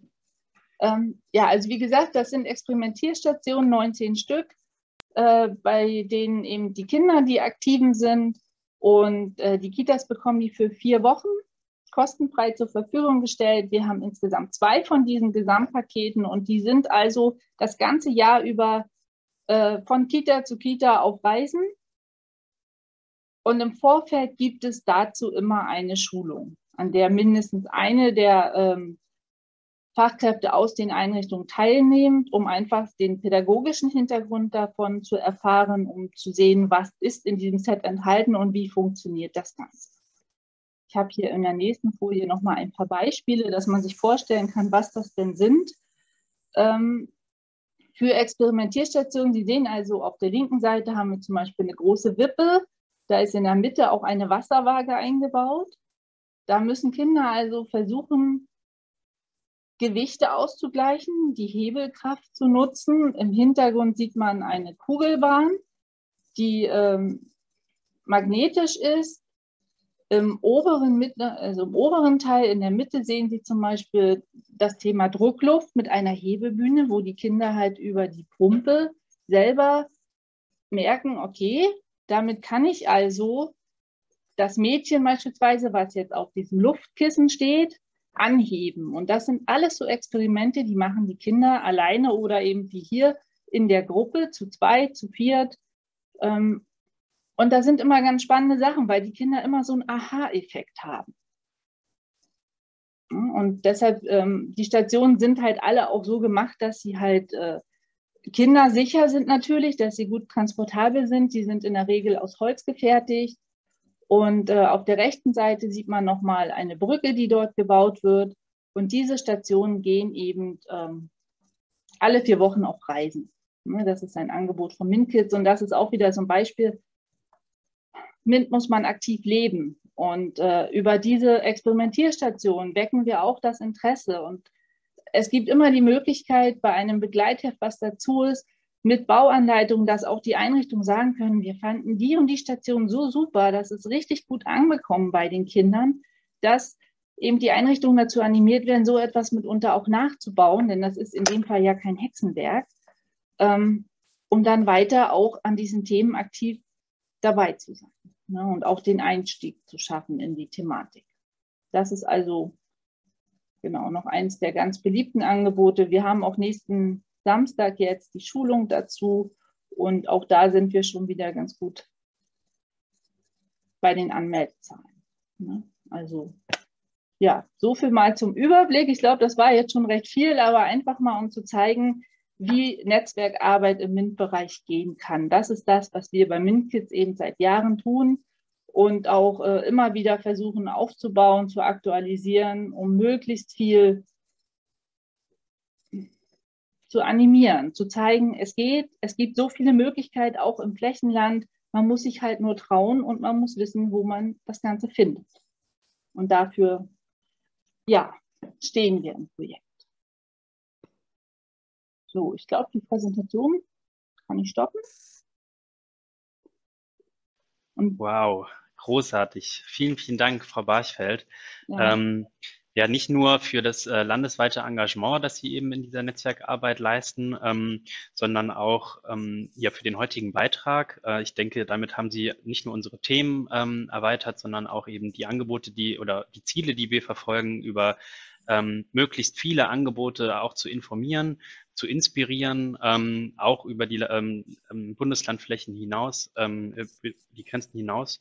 Und ähm, ich sehe, also das ist besonders wertvoll für heute, weil es eben zeigt, wie groß, äh, also wie viele Schnittstellen es zwischen den Themen gibt und wo sich äh, überall dann auch die Nachhaltigkeit und die Bildung für nachhaltige Entwicklung ähm, ähm, ja austoben kann und ähm, wie viele verschiedene Akteure da aktiv sind und ähm, ja, also wirklich großartige Arbeit, allein diese Bündelung an Informationen und das Zusammenbringen von den verschiedenen Akteuren. Ähm, wir haben bereits zwei Fragen im Chat. Äh, Frau Krebs fragte, gibt es auch was für draußen? Ähm, meine Gegenfrage wäre, bezog sich das äh, genau auf die ähm, Experimentierstation, weil die Frage zu diesem Zeitpunkt kam, oder grundsätzlich? Auf die Experimentierstation. Super. Genau, ähm, wäre die Frage. Also die Stationen sind ja ähm, gemacht für drinnen und draußen. Also man kann sie draußen einsetzen. Wir haben etwas mit Luft, wir haben etwas mit Wasser. Das ist natürlich für draußen auch immer recht schön. Man kann sie eben transportabel nutzen, wo sie gerade geeignet sind. Also mitunter wechselt das auch bei Einrichtungen von Kita rüber in den Hort, in den Schulbereich. Und ich hatte letztens gerade mit einer Erzieherin gesprochen, die total begeistert war und sagte, oh, es ist so toll, es wird auch nicht langweilig. Äh, die Stationen stehen im Hort, werden nachmittags von den Kindern dort, ähm, von den Grundschulkindern dann ganz aktiv genutzt. Und am Vormittag, wenn diese im Unterricht sind, gehen halt die Kita-Gruppen rüber und ähm, ja, experimentieren. Ne? Das sind halt Sachen, die Stationen sind ganz äh, kompakt gebaut, weil sie ja auch immer zum Transportieren jetzt nicht erst in tausend Teile zerlegt werden sollen. Also wir haben das immer so, dass äh, ich habe eine feste Spedition, die bekommt halt dann die entsprechenden Transportaufträge. Die kommt, diese ganzen, in der Regel sind das ja ähm, Holzstationen, ähm, werden also genommen und dann zur nächsten Kita per Spedition gebracht. Da entstehen eben auch keine Kosten für die Einrichtungen. Also durch die, ähm, durch die Förderung vom Land sind alle unsere Angebote, die MintKids selber macht, so wie jetzt die Fachtage Versuch macht du kostenfrei für alle Teilnehmenden. Genauso, wenn sie jetzt Angebote auf der Webseite machen wollen, ähm, auch das ist alles kostenlos. Ähm, ja, das ist, ne, das ist die Möglichkeit. Also den Spielraum hat man. Super. ja, auf die Kosten wollte ich dann auch gleich noch hinaus, ähm, ob da ähm, ja für den Versand irgendwie noch was ähm, notwendig Nein. ist, aber das ist ja großartig. Genau. Ähm, genau, zu dem Versand selbst ist auch noch hier die Frage im Chat, ähm, wird, ähm, werden die Stationen auch in andere Bundesländer versendet oder bezieht sich das wahrscheinlich ja, auf MV. Da muss ich leider sagen, nein. Also MinKids ist ja nun mal ein Netzwerk ja. von Mecklenburg-Vorpommern und die Angebote, die ich jetzt vorgestellt habe, sind ja größtenteils auch im MV ansässig und das geht leider fördertechnisch. Hm. Also ich selbst kann dazu sagen, dass wir auf jeden Fall auch auf andere ähm, vergleichbare ähm, ähm, ja, Ausleihmöglichkeiten von solchen Materialien auch gestoßen sind.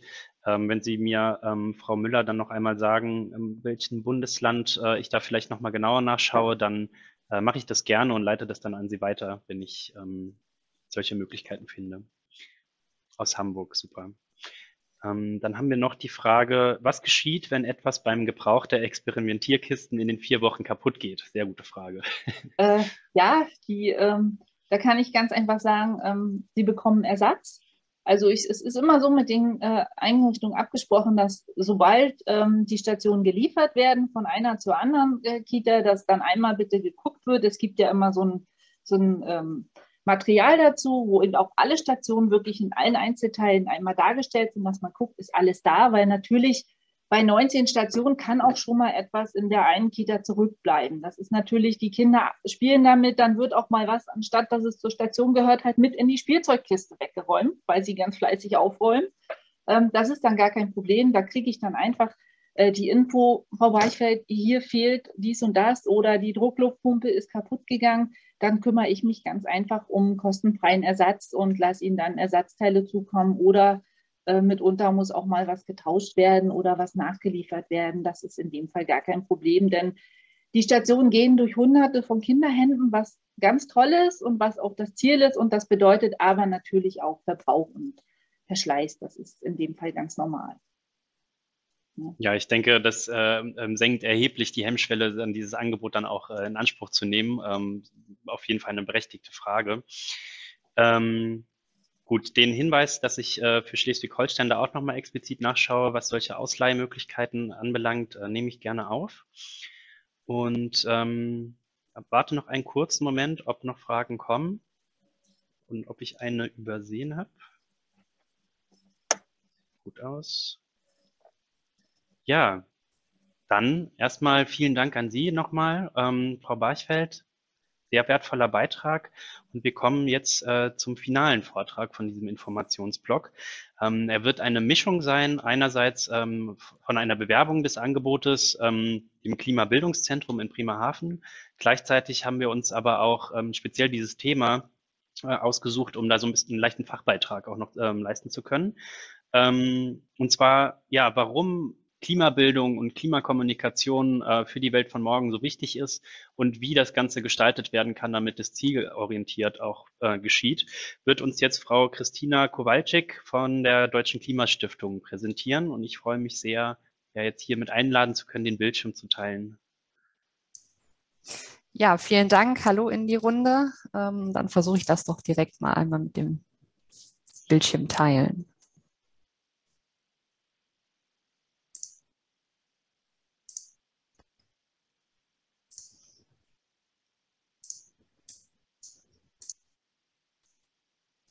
Und hoffe, dass man das jetzt sehen kann.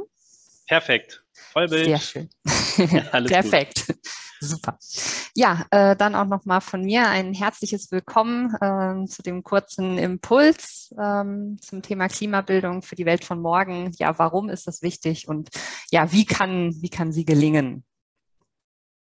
Dann mal ganz kurz, ähm, was habe ich, äh, was ich an Themen mitgebracht? Äh, Herr Amrosch hat es ja gerade schon gesagt. Ähm, einmal möchte ich kurz vorstellen, wer ich bin und äh, was ich mache und ähm, dann nochmal darauf eingehen, ja, der Klimawandel und die Gener junge Generation, ähm, ja, wie, ja, wie beschäftigt äh, oder welche Themen beschäftigen die junge Generation und ähm, ja, wie, wie nehmen sie den Klimawandel wahr und ähm, gehe dann in einem nächsten Schritt nochmal drauf ein. Viele wissen ja schon um die Dringlichkeit, dass etwas zum Thema Klimaschutz gemacht werden muss. Ähm, aber manchmal handeln wir ja, das erleben wir ja vielleicht auch bei uns selber, einfach nicht so, wie wir es vielleicht auch gerne möchten, ähm, was da für ja, psychologische Barrieren uns manchmal im Wege stehen können äh, und wie wir sie ja auch überwinden können und dann eben entsprechend ja, wie eine Klimakommunikation auch gelingen kann. Und zum Abschluss ähm, ja nochmal ein ganz kurzer Impuls, ähm, ja, was es noch für Handlungsmöglichkeiten in den Schulen beziehungsweise Einrichtungen gibt, ähm, um eben entsprechend als Einrichtung ähm, ja auch ein gutes Vorbild ähm, für die Schülerinnen und Schüler beziehungsweise für die Kinder zu sein.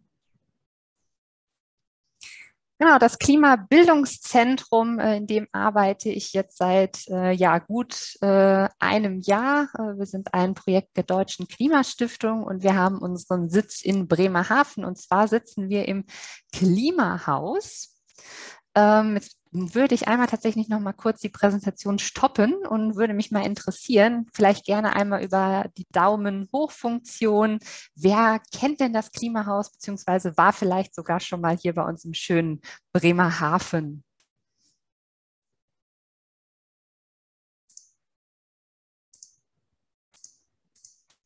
Ganz vereinzelt sehe ich noch mal welche. Ja, Genau, für die anderen eine herzliche Einladung, äh, nach Bremerhaven äh, zu kommen und sich vielleicht auch mal das Klimahaus anzuschauen. Ähm, genau, wir bieten eben ja nicht nur ähm, ja für, ähm, für Lehrkräfte jetzt mit dem Klimabildungszentrum äh, ein Angebot an, sondern auch vom äh, Klimahaus gibt es eben auch ganz vielfältige Angebote für Schulklassen äh, und für Schulgruppen, dass man da eben entsprechend auch zu ja, Klimathemen arbeiten kann.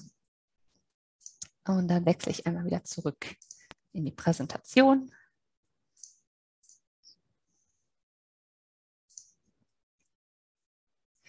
Genau, und mit dem Projekt Klimabildungszentrum ähm, bieten wir eben ein ganzheitliches Fortbildungsprogramm zur Klimakrise an. Das heißt also, ähm, ja, wir wollen Lehrkräfte phasenübergreifend vom Studium über den Vorbereitungsdienst bis hin ähm, ja, zur Fortbildung ja, befähigen, Wissen und Kompetenzen für eine nachhaltige Entwicklung selber zu erwerben und dann natürlich auch zu erlernen, wie kann ich das denn jetzt auch an die Schülerinnen und Schüler weitergeben und diese motivieren und dazu befähigen, ebenfalls ähm, ja, sich klimafreundlich zu, zu verhalten.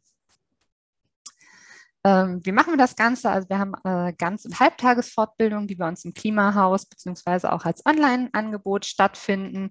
Ähm, es ist aber auch genauso möglich, dass man bei uns anfragt. Ähm, dann kommen wir für eine Ganz- oder Halbtagesfortbildung auch in die Schulen und Einrichtungen ähm, und arbeiten da dann eben zu einem individuell abgestimmten Schwerpunkt. Wenn Sie sagen, ah, vielleicht ist es nochmal interessant, dass wir uns anschauen, ähm, ja, die, die, die, den Klimawandel nochmal in den Kontext unseres Lebensstils einzuordnen oder vielleicht nochmal so ein ja, Update, ähm, was ist denn der aktuelle Stand in der naturwissenschaftlichen Forschung äh, oder einfach zu schauen, dass man gemeinsam nochmal rangeht und sagt, okay, wir möchten einfach ein bisschen Methoden kennenlernen, ähm, die fächerübergreifend genutzt werden können oder wie unsere Schule klimafreundlich werden kann. Genau, und mit unserem Projekt möchten wir eben die Standortkompetenz in den Klimawissenschaften, ähm, naja, und die Klimawandelwissensvermittlung in Bremerhaven nutzen äh, und natürlich auch mit dem Projekt weiter ausbauen. Und ähm, dafür sind wir auch gerade dabei, MultiplikatorInnen auszubilden, die dann eben entsprechend auch die Inhalte weiter transportieren. Ja, was konkret machen wir jetzt? Ähm, ich sagte ja gerade schon einmal, ähm, es geht auch um naturwissenschaftliche Grundlagen und zwar in unserer vierstündigen Fortbildung Klimawandel kompakt, Fakten, Methoden und Umsetzungsideen. Ähm, da geht es dann eben neben dem naturwissenschaftlichen Part auch wirklich ganz konkret darum, was gibt es für Methoden, wie kann ich sie im Unterricht einsetzen und neben dem Input wird natürlich auch sehr viel ausprobiert. Man lernt die Methoden selber kennen ähm, und geht auch in den Austausch. Ja, wie machen das andere ähm, Kolleginnen und Kollegen an anderen Einrichtungen schon.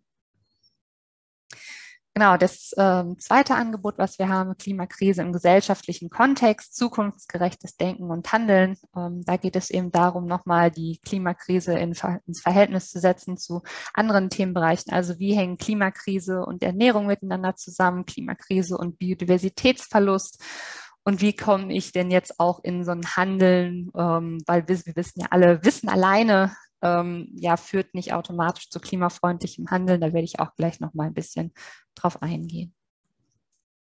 Das dritte Angebot, äh, Klimawandel dich, Schülerinnen und Schüler zu klimafreundlichem Handeln befähigen. Ähm, da geht es wirklich ganz explizit nochmal um die jungen Menschen, um deren Perspektiven, um deren Sorgen. Ähm, und da ähm, hat dann eben die FEJlerin, die wir jedes Jahr bei der Deutschen Klimastiftung haben, eben zusammen mit mir dieses Fortbildungsangebot entwickelt und dann eben aus äh, Schülerinnenperspektive nochmal eingebracht. Ja, was kann ich denn überhaupt machen? Schwerpunktmäßig natürlich ähm, bei uns in der Region, wo kann ich mich auch ähm, engagieren, aber natürlich auch nochmal die Perspektive deutschlandweit aufzuzeigen, wie, ähm, welche Handlungsmöglichkeiten gibt es denn?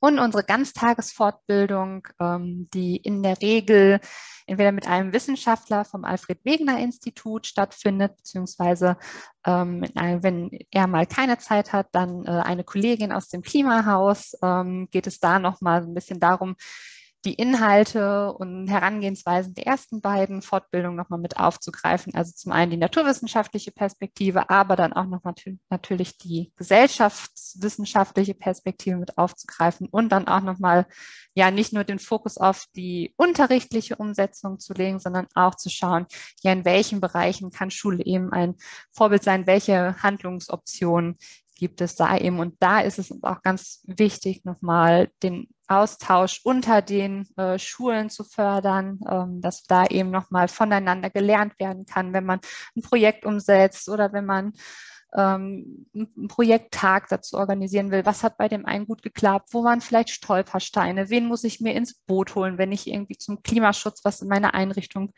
erreichen möchte? Ähm, da sind wir auch dabei, dann ein Netzwerk aufzubauen und dann eben die Schulen untereinander dann zu verknüpfen. Genau, und aktuelle Informationen und äh, Termine zu unserem Fortbildungsprogramm ähm, finden Sie auf unserer äh, Homepage www.klimabildungszentrum.de. Da alles weitere dann dazu. Genau, und dann möchte ich ja jetzt nicht nur ähm, etwas erzählen, sondern äh, bin auch nochmal gespannt auf ja ein kleines Feedback aus Ihren Runden. Ähm, Jetzt habe ich tatsächlich festgestellt, äh, als ich mal so einmal die Teilnehmendenliste durchgeschaut habe, dass auch viele aus dem Kita-Bereich da sind. Aber ich würde sagen, wir schauen trotzdem mal, inwieweit die Fragen, die ich vorbereitet habe, ähm, ja, vielleicht doch passen. Das heißt also, ich würde Sie jetzt einmal einladen. Sie können entweder ähm, in Ihrem Browser am Laptop ähm, auf die Seite menti.com gehen und dort den Code, den Sie sehen, eingeben oder Sie scannen mit Ihrem Smartphone den ähm, QR-Code ab. Ähm, und dann kann ich auch gleich als Alternative noch einen Link in den Chat stellen, wo Sie auch zu der kurzen Befragung gelangen. Dann warte ich noch mal einen kurzen Moment.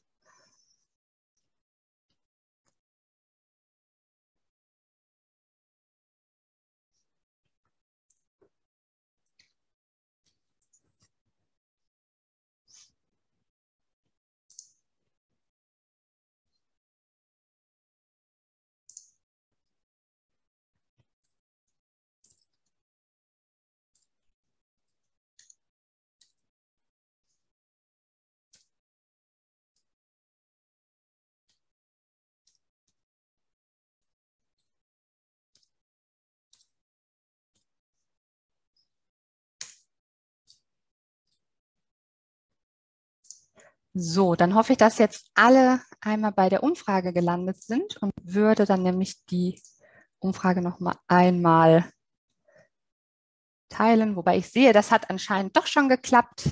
Ähm, genau, und zwar geht es da wirklich noch mal darum, welche Themen beschäftigen Ihre Schülerinnen und Schüler beziehungsweise auch ähm, ja die Kinder im äh, in ihren Kindergärten. Genau, das bezieht sich jetzt tatsächlich eher so allgemein, äh, an welchen Themen Sie interessiert sind. Genau, und ich sehe schon, werden schon fleißig Antworten eingegeben. Ich hoffe auch, dass das mit dem Link geklappt hat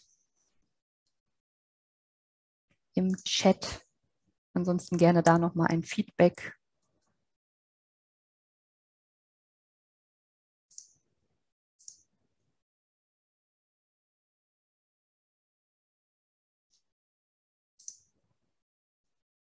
Okay, ich sehe, fünf haben mittlerweile an der Fragung teilgenommen. Dann warte ich noch mal einen kurzen Moment.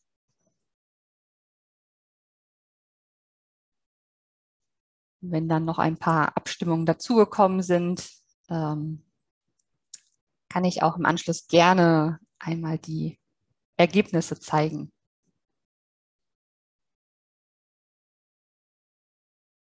Wie gesagt, falls das bei jemandem nicht geklappt hat. Geht das erst weiter, wenn Sie es freigeben? Genau. Ah, okay, gut. Genau, ich sehe, sieben Personen haben jetzt einmal schon abgestimmt bzw. ähm, etwas angegeben. Dann warte ich noch mal ein, zwei Minütchen und dann gebe ich einmal die nächste Frage frei, bevor ich dann die Ergebnisse einmal zeige.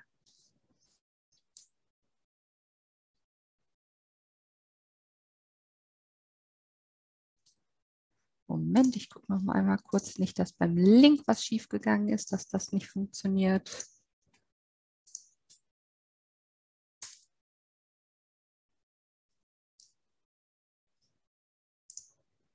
Beziehungsweise, wenn das geht es auch, wenn Sie auf menti.com gehen und dann diesen Code eingeben.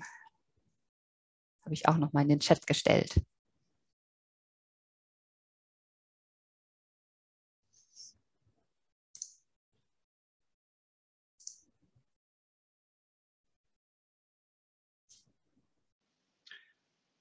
Ähm, Christina, könntest du einmal noch mal den QR-Code zeigen? Da wurde gerade danach gefragt. Ja, natürlich.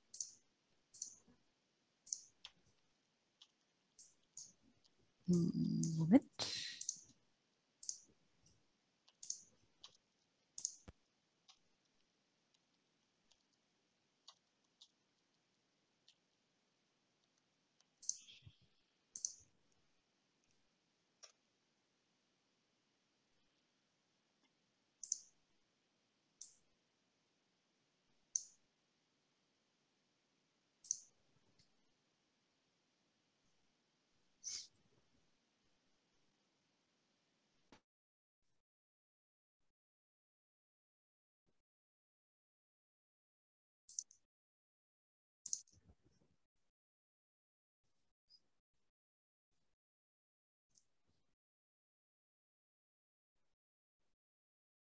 Dann würde ich sagen, schaue ich noch mal einmal in die Ergebnisse rein.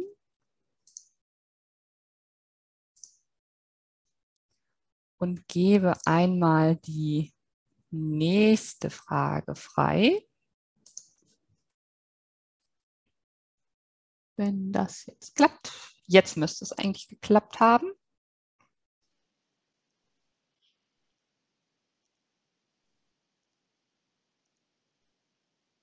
Genau, und da können Sie jetzt einmal zustimmen, ähm, inwieweit die Kinder bzw. Schülerinnen und Schüler ähm, ja am Thema Klimawandel interessiert sind, ähm, von, also dass sie überhaupt nicht interessiert sind ähm, oder dass sie sehr interessiert sind, ähm, beziehungsweise ja, ob sie auch schon in dem Bereich ja vielleicht nicht nur sich engagieren, sondern auch ähm, ja aktiv sind, indem sie beispielsweise sagen, ach, immer wenn ich, wenn ich mit Mama zum Einkaufen gehe, dann nehmen wir die äh, nehmen wir einen Stoffbeutel mit, statt Plastiktüten zu benutzen. Bei mir geht das leider nicht. Bin ich da die Einzige?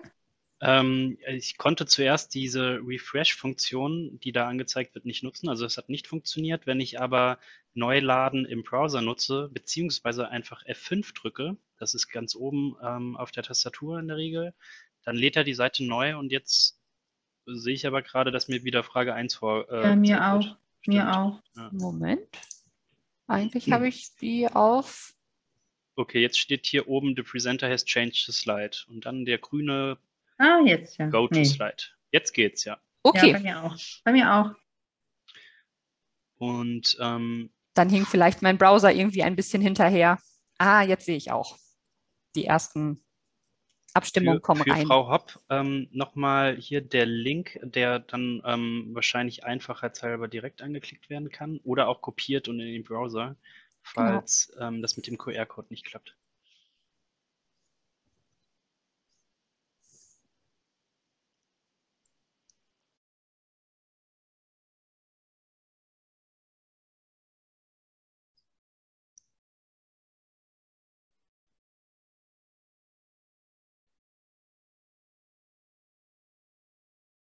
Das scheint aber jetzt auch bei mehreren zu klappen. Ich sehe, ich habe jetzt elf Rückmeldungen.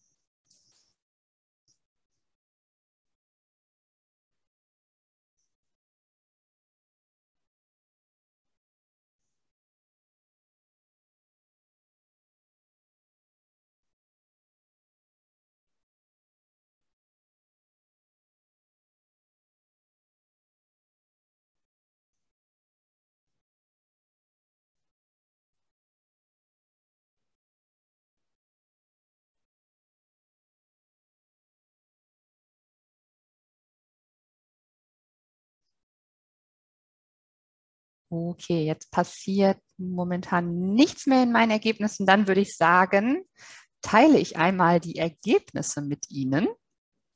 Sehr spannend, äh, mit welche, welche Themen ganz hoch im Kurs stehen. Ich muss ja mal schauen, dass ich auch den Browser teile. Und dann mache ich das einmal groß. Genau. Ähm, ganz dick und fett, also mehrfach erwähnt, äh, das Thema Nachhaltigkeit, Klima und Klimawandel. Ähm, ich sehe aber auch Konsum, ähm, Umsetzbarkeit.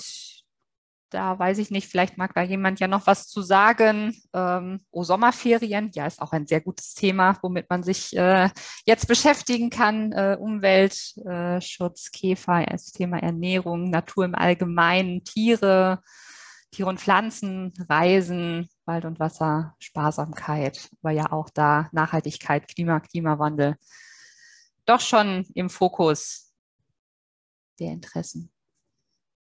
Ja, perfekt, das hat geklappt, genau. Und äh, ja, ähm, auch hier die Schülerinnen und Schüler beziehungsweise die äh, Kinder sind, ähm, ja, haben doch schon ein Interesse am Thema, ähm, aber haben natürlich auch noch, sind, in, ähm, sind natürlich auch noch an, an anderen Themen interessiert ähm, und in dem Alter vielleicht auch noch nicht ganz so viel in dem Bereich engagiert, aber vielleicht über die eine oder andere Kleinigkeit, die man ja so im Alltag machen kann, tragen Sie ja dann doch auch zum Klimaschutz bei. Ja, sehr spannend. Vielen Dank, äh, dass Sie mitgemacht haben.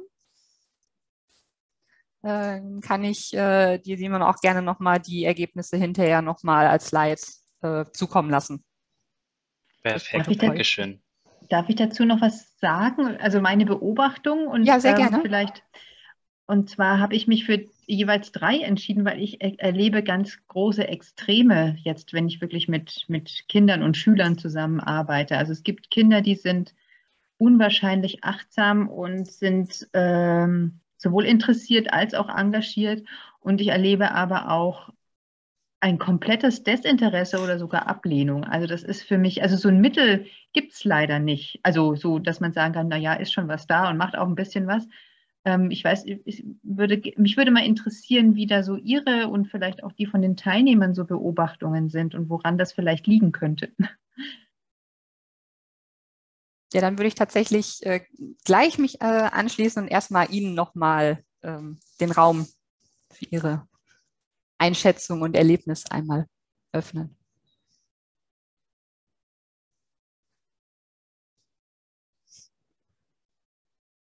Also auch da wird es nochmal in einer Grundschule ähnlich erlebt. Gibt es sonst noch Erfahrungen, die Sie nochmal mit uns teilen möchten?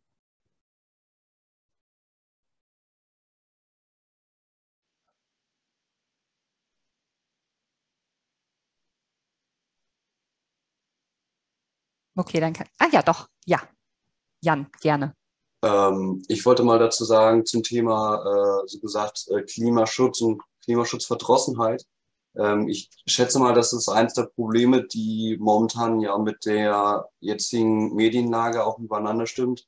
Das haben wir jetzt ja auch sehr groß in der Corona-Lage mitbekommen. Umso mehr das Thema traurigerweise so gesagt von den Medien plattgetreten wird, umso mehr Überschuss hat man von dem Gehörten und umso weniger interessiert man sich dadurch. Gerade das ist halt ein großes Thema, das wird konstant von den Medien aufgenommen. Leider oft nicht in einem guten Licht, also das und das hat man schon geschafft, sondern das haben wir nicht hinbekommen und das haben wir nicht hinbekommen. Und dadurch gibt es halt einen großen Faktor an Kindern und Jugendlichen und jungen Erwachsenen, die sich zum Beispiel bei Friday for Future oder ähnliches akt aktiv teilnehmen und dadurch halt auch ein großes Wissen haben.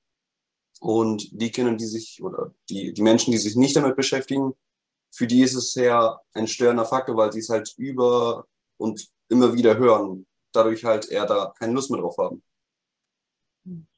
Ja, dem stimme ich auch zu. Also speziell was die Verdrossenheit anbelangt, ähm, gleichzeitig das Behandeln in den Medien und wir kommen vielleicht auch gleich nochmal zu diesen psychologischen Hintergründen und äh, wir können ganz klar feststellen, dass die Klimakatastrophe eine Bedrohung ist, die nicht so vorgestellt werden kann wie ein Ball, der auf mich zufliegt und ich weiche aus, ich reagiere, also nehme die Gefahr aktiv wahr, sehe sie auf mich zukommen und habe sofort das Gefühl, äh, reflexartig reagieren zu müssen, sondern es ist halt ein äh, über einen langen Zeitraum gedachte ähm, Gefahr.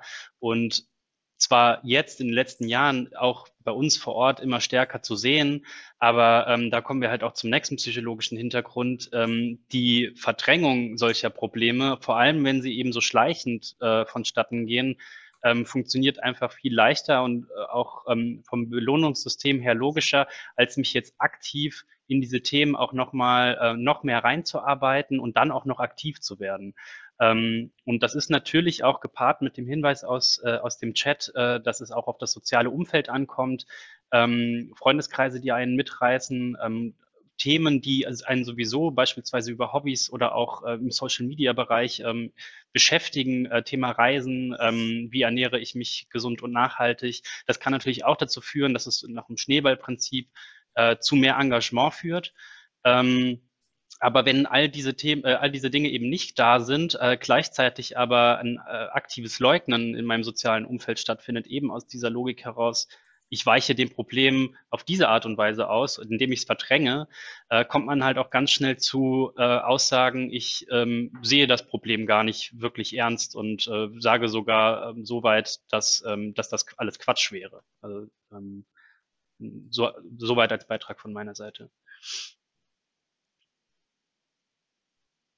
Ja, danke auch nochmal für die, für die anderen Erfahrungen. Ähm, also das habe ich tatsächlich, also ich habe auch äh, eine Zeit lang in der Grundschule gearbeitet, ähm, habe das da auch mitbekommen, also dass ähm, auch im Rahmen einer Plastikdetektive AG, die ich äh, angeboten habe, dass dann da auch die Kinder gesagt haben, oh, bei uns zu Hause immer Plastik und aber da war dann tatsächlich auch dann bei den bei den Kindern, die da mitgemacht haben, hat man schon diesen diese Bewusstseinsveränderung mitbekommen und ähm, ganz, ganz toll ähm, hat dann eine ja, eine Schülerin gesagt, oh, Frau Kowalczyk, Frau Kowalczyk, meine Mama benutzt jetzt äh, immer ähm, ja, ein, ein Baum, eine Baumwolltasche, wenn wir zum Einkaufen gehen, ähm, weil du gesagt hast, dass das besser ist als die Plastiktaschen. Und äh, ja, sie konnte das tatsächlich zu Hause durchsetzen. Also auch ähm, ja, kann man auch ganz viel, wenn man wirklich toll mit den Kindern arbeitet und sie das auch für sich mitnehmen, äh, kann man da dann vielleicht auch dann so die Elternhäuser sogar auch noch mit erreichen, auch selbst wenn es da dann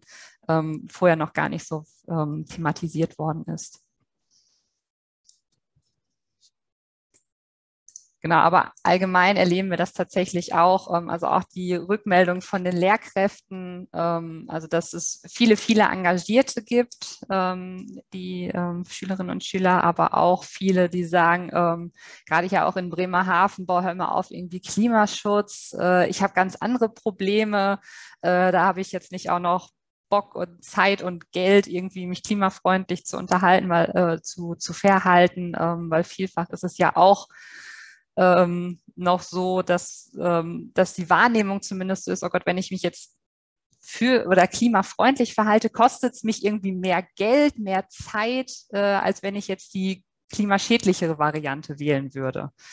Ähm, da ist es auch dann eben ganz wichtig, dass man da positiv Beispiele aufzeigt, dass es eben doch geht.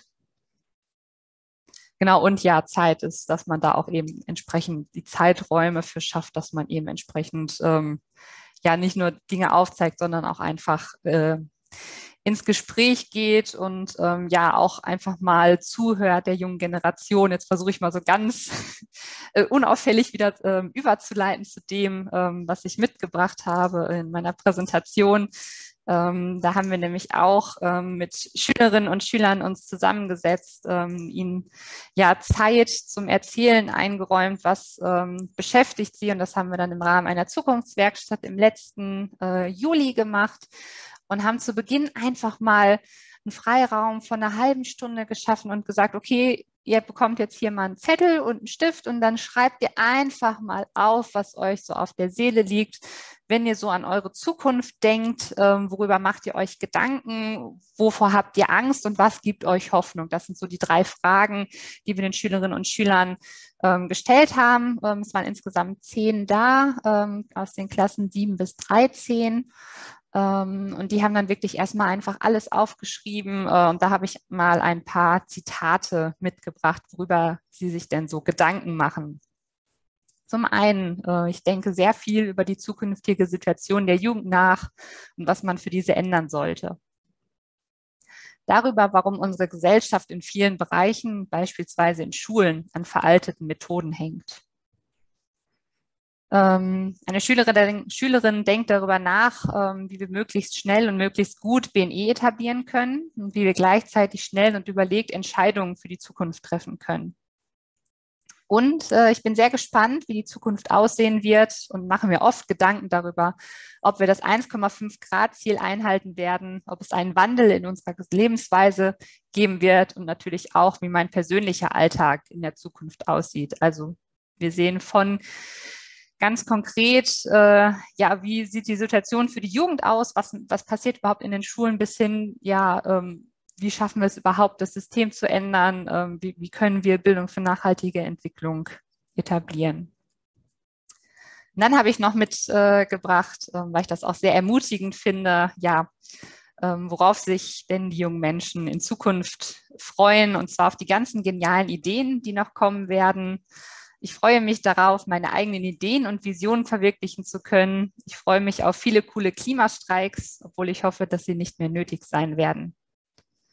Ähm, jemand freut sich auf äh, die Digitalisierung, auf komplett neue Methoden, wie an Schulen gelehrt wird und darauf, dass junge Menschen mehr Einfluss auf Entscheidungen nehmen können.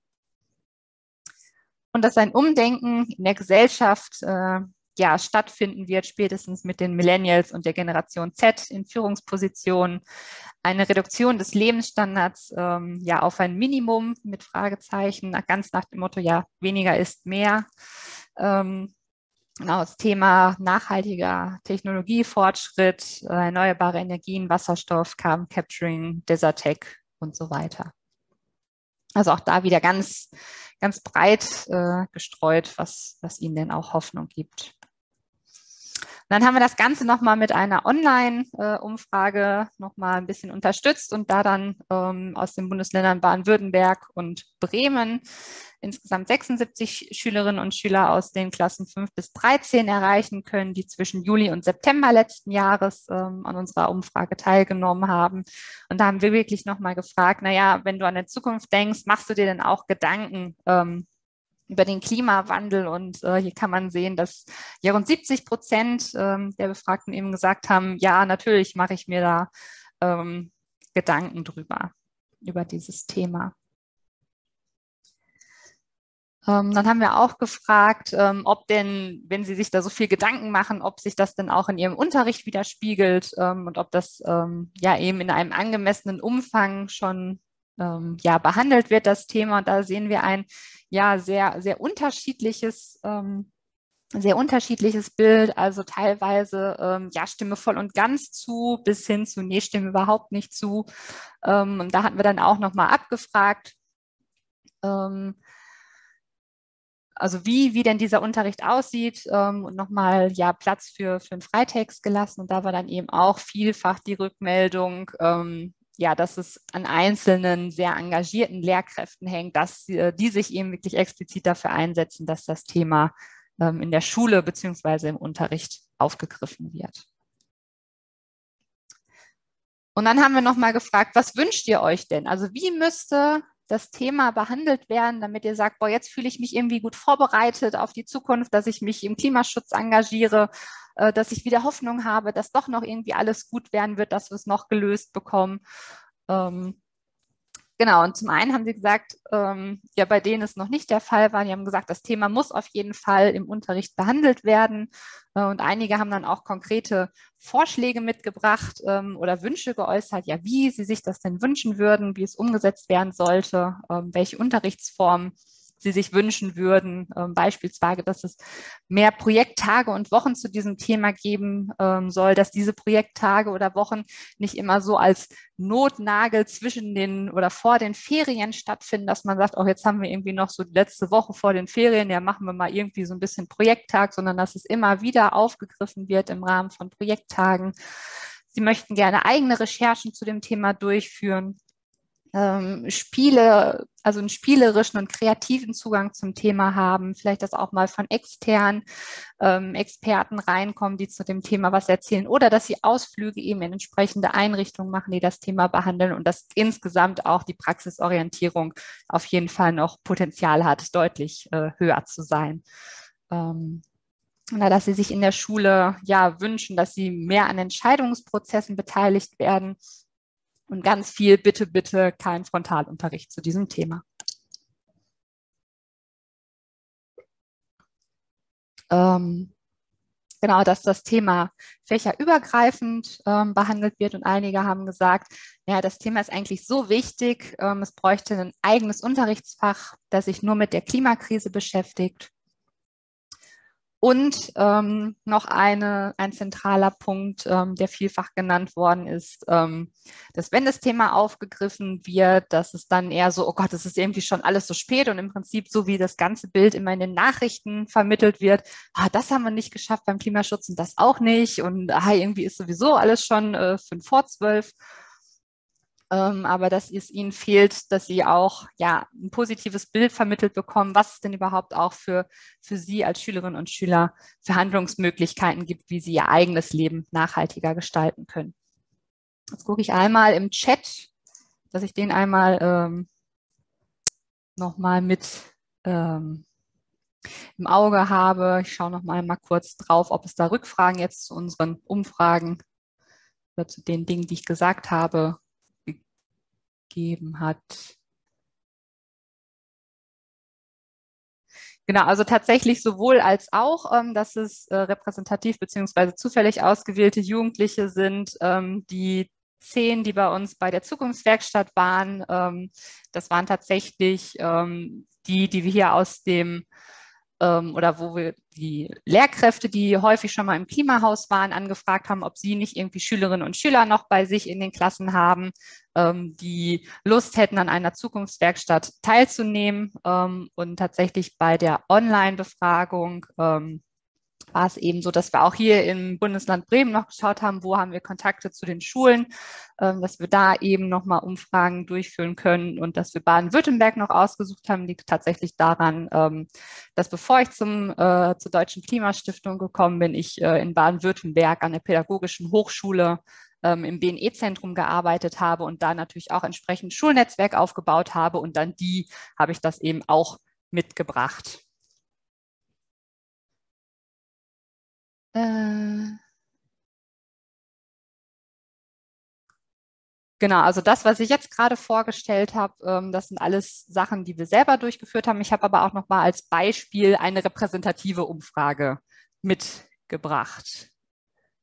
Genau, und es hat tatsächlich, das haben wir auch gesehen, ähm, ähm, also auch Unterschiede zwischen dem, wie es wahrgenommen wird, äh, zwischen Bremen und Baden-Württemberg. Genau, also da waren auch noch mal die, ähm, ja, die Einzugsgebiete beziehungsweise das Bundesland dann da auch nochmal tatsächlich einflussgebend ähm, vertreten. Bei der Online-Befragung, welche Schulform und Altersklassen, genau, also Klasse 5 bis 13 äh, hier in Bremen, die Oberschulen ähm, und aus Baden-Württemberg ähm, waren es, äh, ich muss gerade einmal ganz kurz überlegen, ich meine zwei, zwei oder drei Gymnasien waren es tatsächlich, die da vertreten waren bei der Befragung.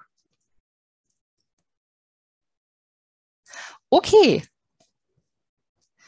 Dann äh, würde ich tatsächlich noch einmal eine, Moment, jetzt geht mein Cursor nicht weiter.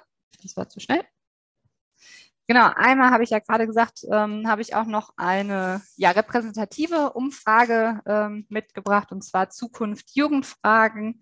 Ähm, die wurde äh, im Zeitraum Juni bis Juli letzten Jahres durchgeführt und ähm, jetzt vor einiger Zeit veröffentlicht. Äh, da wurden 1010 junge Menschen zwischen 14 und 22 Jahren befragt. Wie gesagt, ähm, eine repräsentative Befragung. Das heißt also auch vom, ähm, ja, von der Altersverteilung und ähm, Schulform und so weiter war eben entsprechend, wie es auch dem gesellschaftlichen Durchschnitt ähm, widerspiegelt, da eben auch entsprechend die befragten Schülerinnen und Schüler beziehungsweise jungen Menschen vertreten.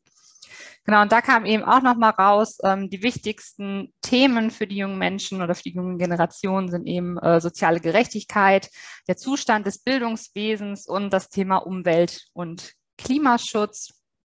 Und dann hat man auch nochmal ja eine Frage aufgegriffen, ähm, ja, welche Gefühle oder ähm, ja, welche Gefühle löst das Thema Klimawandel bei dir aus? Und haben dann angegeben, das oder kam dann eben heraus, dass 70 Prozent ähm, auch Angst vor den Folgen des Klimawandels haben, ähm, aber auch gesehen haben, dass es eben ja, Möglichkeiten zum Umwelt- und Klimaschutz gibt und sehen da eben zum einen jede und jeden Einzelnen in der Verantwortung, aber auch ähm, insgesamt die Industrie und die Bundesregierung. Und 80 Prozent ähm, der befragten jungen Menschen kennen Fridays for Future und ein Viertel hat sogar schon einmal an einer Demonstration teilgenommen. Ich sehe gerade, es kam noch, noch eine Frage. Okay. Genau, dann habe ich noch mal einen Ausschnitt äh, mitgebracht, ähm, ja, wie die jungen Menschen denn wohl ähm, über die Zukunft in etwa 20 Jahren nachdenken, ob sie eher optimistisch oder pessimistisch sind. Und die letzte Zeile ähm, zeigt nochmal, naja, ähm, ja, wenn sie an die Zukunft von Umwelt und Klima denken, ähm, ja, dass tatsächlich ähm, ja die jungen Menschen eben eher pessimistisch beziehungsweise einige sogar sehr pessimistisch sind, wenn sie an die Zukunft äh, in 20 Jahren denken. Ähm, Moment, ich habe gerade ein paar kleine technische Probleme mit meiner Tastatur. So. Genau, jetzt schaue ich noch mal einmal kurz in den Chat, ob es dazu jetzt noch mal eine ähm, Frage gab. Ähm, inwieweit hat es beeinflusst? Moment, Moment. Genau, also das haben wir tatsächlich gar nicht abgefragt, also mit welch, welchem äh, sozialen Status ähm, die Schülerinnen und Schüler haben, ähm, sondern es ging tatsächlich eher darum, worüber sie sich persönlich Gedanken machen und was sie sich ja für die, von der Schule für die Klimabildung wünschen.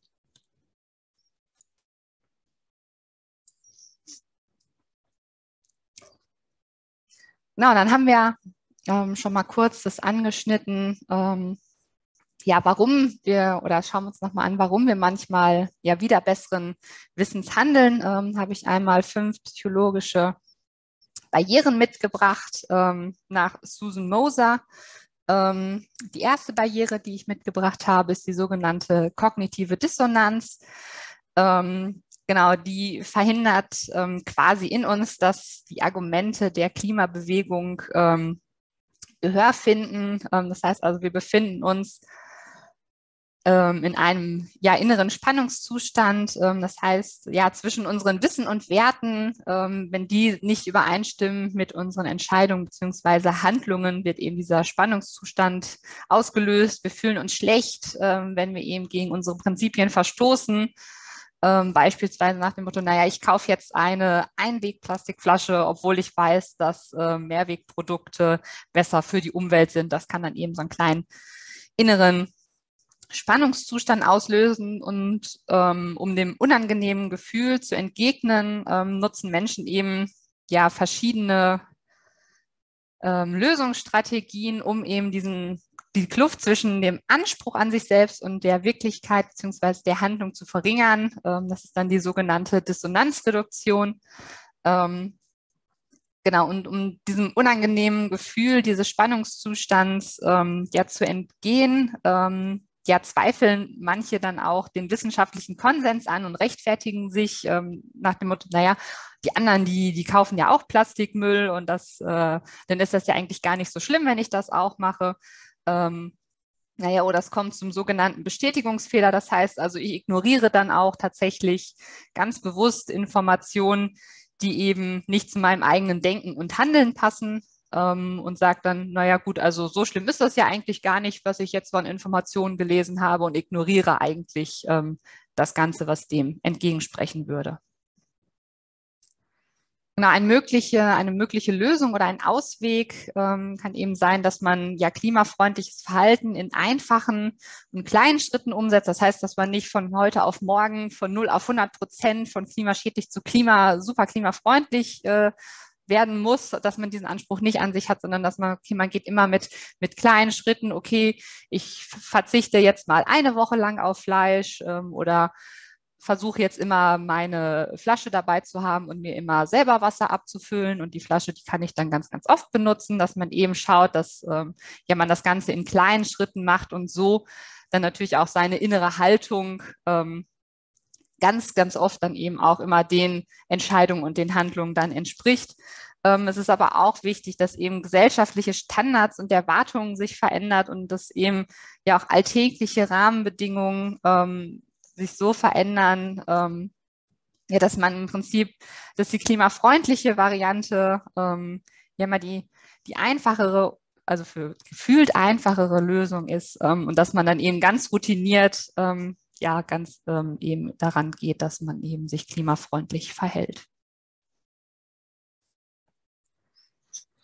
Die zweite Barriere, die ich mitgebracht habe, ist die psychologische Distanz. Ähm, das heißt also, die Ursachen und Folgen des Klimawandels ähm, ja, scheinen weit entfernt oder ungreifbar zu sein. Ähm, aber dass man sagt, naja, der Klimawandel wird wahrscheinlich keinen Einfluss auf, auf Menschen wie mich haben und auch nicht in meiner Region. Das heißt also, ähm, ich habe zum einen diese, diese gefühlte räumliche Distanz, vielleicht auch die zeitliche Distanz nach dem Motto, na ja, jetzt geht's uns ja noch gut.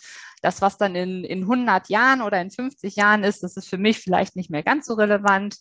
Ähm, die Menschen, die das betrifft, ähm, komme vielleicht nicht aus der sozialen Schicht, in der ich mich bewege. Und natürlich ähm, die Klimawissenschaften weisen natürlich immer ähm, durch die Komplexität einen gewissen Grad der Ungewissheit auf. Also man kann nicht sagen, also es ist 100 Prozent belegt, dass es äh, genau so und so kommen wird, ähm, sondern auch da wird ja mit, es ist sehr wahrscheinlich, also mit Wahrscheinlichkeiten gearbeitet ähm, dass man dann sagt, ach, das, das ist ja gar nicht so sicher und dann ähm, ja, führt das eben zu einem Desinteresse und zu einer Vermeidung des Themas. Und eine Lösung kann eben sein, dass man diese gefühlte Distanz verringert, zum Beispiel, ähm, dass man eben mit den Menschen in Kontakt geht, Parallelen herstellt, dass man über, ganz viel über Storytelling arbeitet.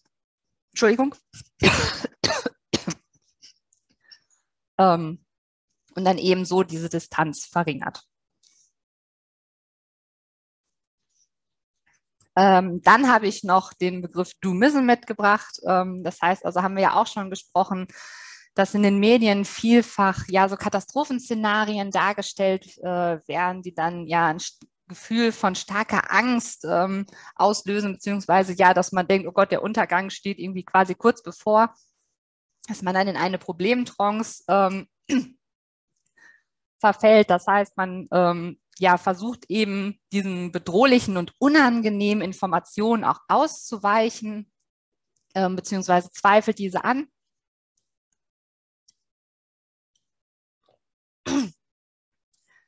Ähm, genau, man sucht sich quasi rationale Gründe für ähm, sein wenig ähm, rationales Nichthandeln ähm, und schiebt vielleicht auch die Verantwortung auf andere oder sagt, naja, da kann ich mich auch irgendwie später noch drum kümmern. Gerade habe ich ganz andere Probleme, als äh, mich klimafreundlich zu verhalten.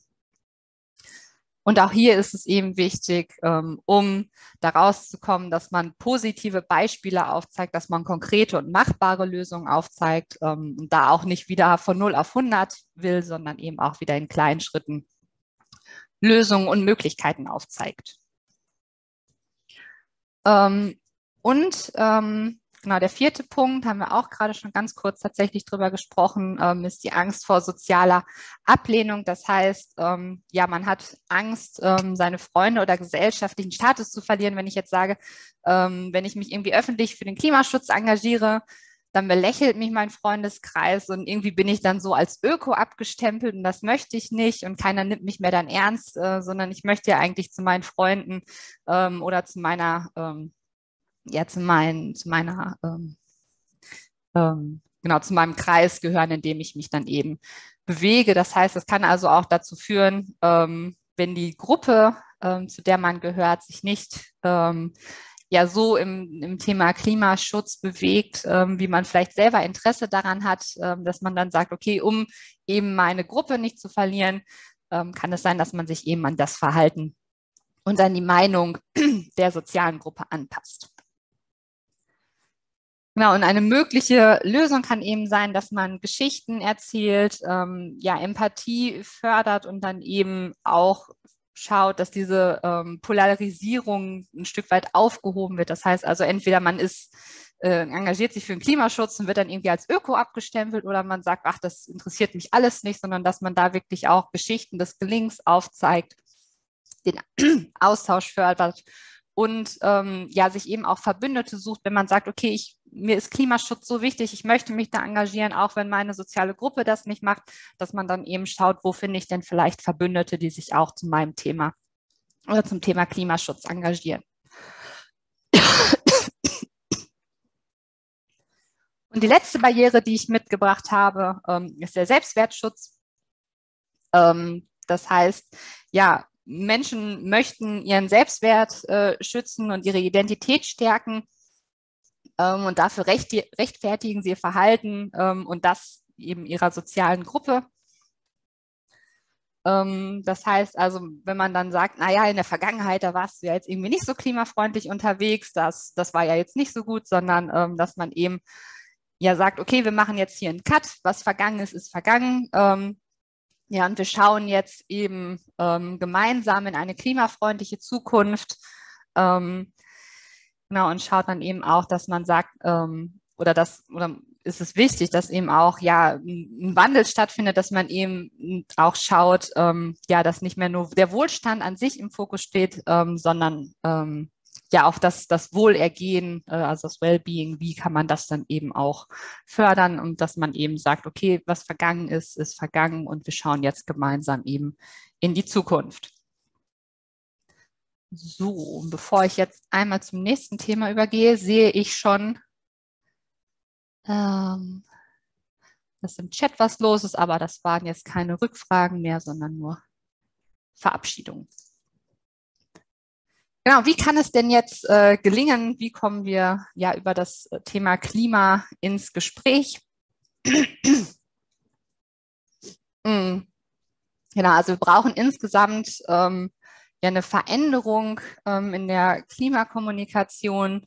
Ähm, es, es, braucht mehr Positivbeispiele, ähm, ja, was, was denn alles schon gelungen ist, ähm, anstatt dass man sich darauf fokussiert, was denn alles nicht geklappt hat, ähm, für die Schülerinnen und Schüler nochmal auf die bezogen, ähm, dass man eben nochmal konkret aufzeigt, ähm, was kann ich denn als, als Beitrag leisten, aber natürlich auch mit dem Hintergrund, ähm, den Schülerinnen und Schülern das Gefühl zu geben, es ist schön, wenn du mithilfst und zum Klimaschutz beiträgst, aber es ist nicht deine Verantwortung, es ist nicht deine Schuld, sondern wir Erwachsenen, wir müssen im Prinzip das große ganze Problem lösen und ihr könnt aber auch schon ähm, ja ein Stück weit dazu beitragen und eben auch zu vermitteln, ähm, dass es ganz toll ist, wenn ähm, ja wenn jeder eben seinen kleinen Beitrag dazu leistet.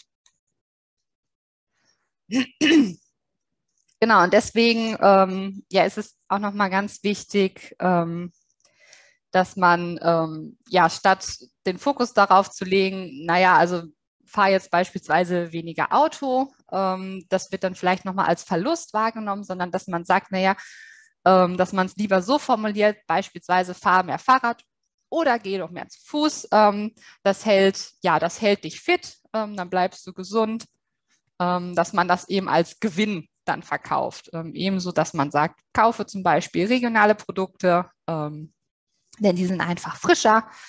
Ähm, werde Vegetarier, denn das ist gesund. Ähm, dass man eben das Ganze sagt, naja, nicht, du darfst jetzt kein Fleisch mehr essen, sondern eben dann die Vorteile aufzeigt, wenn man sich klimafreundlich verhält.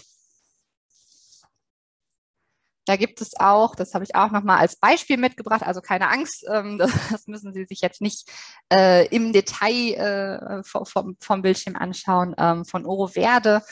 Ähm, ja, Fallen und Chancen der Nachhaltigkeitskommunikation ähm, nochmal aufgeteilt auf den Bereich Kommunikation, Recherche und Werte. Da habe ich einfach nur mal einen kleinen Ausschnitt mitgebracht. Den Link kann ich zu dem Plakat, kann ich auch gerne nochmal äh, im Nachgang mitschicken. Ähm, genau, kleine Aspekte nochmal werden dann da aufgezeigt, ähm, auf die man achten kann, was so quasi Fallen in der Kommunikation sein können, ähm, wie man das Ganze aber auch eben als Chance ummünzen kann, beispielsweise, wie ich, gesagt, wie ich es gesagt habe, dass man eben ja statt Verbote ausspricht, ähm, eben die Gewinne aufzeigt, wenn man sich klimafreundlich verhält. Ähm, und dann nochmal ein sehr, nochmal eine sehr, sehr schöne grafische Zusammenfassung, ähm, über die bin ich jetzt die Tage erst gestolpert. Ähm, kenne die Jana Hoppmann, ähm, die hat äh, bei uns hier im Klimahaus sogar auch schon mal einen Workshop gehalten zum Thema Klimakommunikation. Ähm, und die hatte jetzt zur Bundestagswahl ähm, nochmal ähm, eben entsprechend mit, mit kleinen Sketchnotes aufbereitet, wie man denn eben ja Klimagespräche führen kann, die die Welt verändern können. Ähm, dass man erstmal schaut, mit wem sollte ich als erstes sprechen. Also dass man schaut, dass man, wenn man sowas startet, ähm, dass man sich erstmal ja Menschen sucht, die einem nahestehen ähm, und dass man eben auch schaut, ja, dass man sich äh, eben die Bekannten raussucht, ähm, bei denen man sich, bei denen man auch schon ja die Hoffnung hat, dass eben das Gespräch etwas bewirken kann, dass man eben ein angenehmes Setting für das Gespräch sucht, ähm, dass man nach Gemeinsamkeiten schaut, dass man offene Fragen stellt, ähm, aber auch den Gegenüber nochmal darin unterstützt, dass man gemeinsam nochmal schaut, dass man die Gedanken ordnet, dass man sich die nächsten Schritte anschaut ähm, und dass man eben, dass es ganz wichtig ist, sich auch ja ähm, wie es unter Punkt 7 beispielsweise steht, ähm, ja, dass man auch die Perspektive wechselt, ähm, dass man sich in den anderen hineinversetzt, dass man empathisch ist, ähm, dass man auch über Gefühle spricht, aber auch nochmal ganz klar schaut, dass man Fakten und Gefühle voneinander trennt. Ähm, Das, ähm, ja, und dann man eben gemeinsam, wenn man alles äh, sortiert hat, dann auch schaut, okay, was, ähm, was können wir denn jetzt tun zum Gesprächsausklang, äh, ähm, ja, dass wir jetzt gemeinsam motiviert sind, etwas zu unternehmen.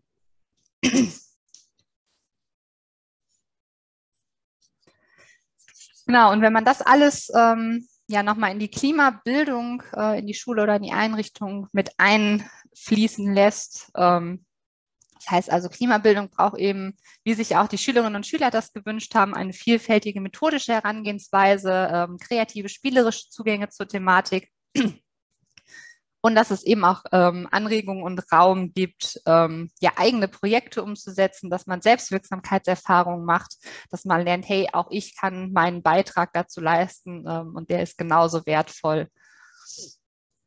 Und dass man, ähm, ja, wenn man dann eben auch Klimabildung betreibt, dass man vielleicht auch noch mal über seine eigene Rolle nachdenkt. Ähm, zum einen die Schülerinnen und Schüler, dass sie ja vom Lernstoffkonsumenten eben ja befähigt werden zum Gestalter der Welt von morgen, ähm, ja als solche zu, äh, zu, zu agieren. Das, ähm, da, da, hilft BNE ja auch ganz, ganz viel eben durch ähm, die Gestaltungskompetenz und die Teilkompetenzen, dass man da eben ja das Rüstzeug an die Hand bekommt, dass man eben seine Zukunft ähm, aktiv und klimafreundlich auch mitgestalten kann. Ähm, ja, und dass damit aber auch, gerade vielleicht, wenn man mehr Raum für eigene Projekte und Selbstwirksamkeitserfahrungen ähm, schafft und öffnet, dass dann eben ja vom reinen Wissensvermittler, dass man ähm, ja als Lehrkraft auch eher ähm, ja als Lernbegleiter für die Schülerinnen und Schüler dann da ist und ihnen ja viele Türen öffnet, äh, indem man sie eben entsprechend mit den Wissen und den Kompetenzen ausstattet, ähm, dass sie dann eben auch ihren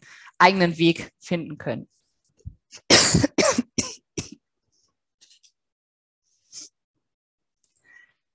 Genau, und wie das auch funktionieren kann, ähm, ah, da hat, Moment, fehlt die tatsächlich die Beschriftung. Ähm, das ist äh, im Rahmen einer BNE, digitalen BNE-Werkstatt äh, in NRW zustande gekommen. Da waren eben ähm, ja, BNE-Akteure dabei und Lehrkräfte, mit denen habe ich auch nochmal gesprochen. Naja, wie würden Sie sich denn die Klimabildung der Zukunft wünschen und habe hier einfach nochmal die Beispiele mit, ähm, mitgebracht. Ähm, auch wieder das Thema positive Kommunikation, Best Practice Beispiele.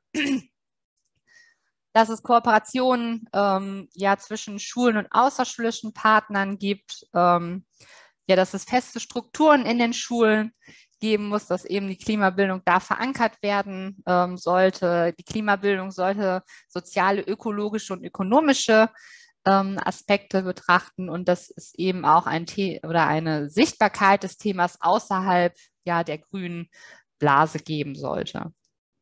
Was braucht es eben, um das Ganze umzusetzen? Ähm, also vielen war eben wichtig, dass es ja nur über Kooperationen gelingen kann. Das heißt also zum einen zwischen den Schul- und außerschulischen Lernorten, aber auch ähm, ja, dass alle an Schule Beteiligten äh, einbezogen werden, ähm, also dass dann auch die Eltern mit in die Bildungsarbeit einbezogen werden, dass es äh, Fortbildung und Schulung von Lehrkräften braucht.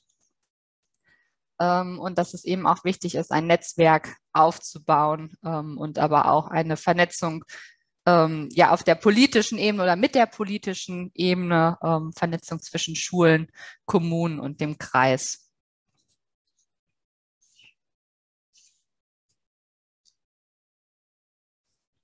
Jetzt muss ich einmal kurz auf die Uhr schauen. Es ist nämlich gleich auch schon Viertel nach. Genau, jetzt habe ich ähm, noch mal ein paar Handlungsmöglichkeiten mitgebracht. Ähm, diese können ja wirklich ganz, ganz vielfältig sein. Ähm, hier gibt es eben von der Zukunftsschule Schleswig-Holstein, habe ich mir das mal angeschaut.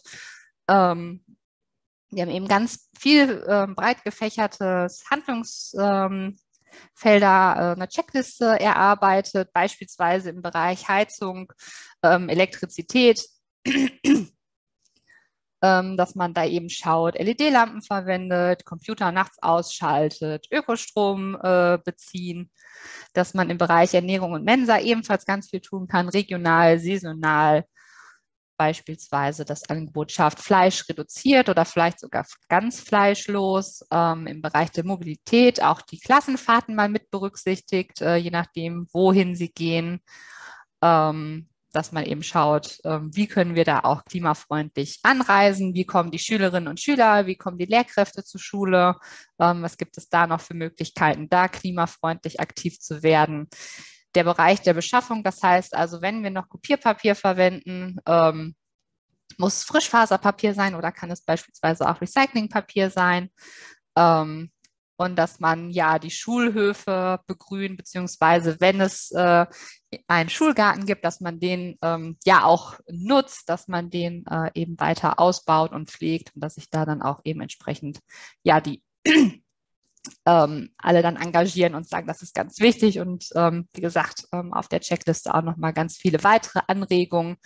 Ähm, wichtig ist eben, dass man ja im Sinne eines Whole Institution Approach das Thema nicht nur in den Unterricht einbezieht, sondern dass man das Ganze auch vorlebt und in vielen, möglichst vielen Bereichen dann auch einbindet und da auch vorlebt.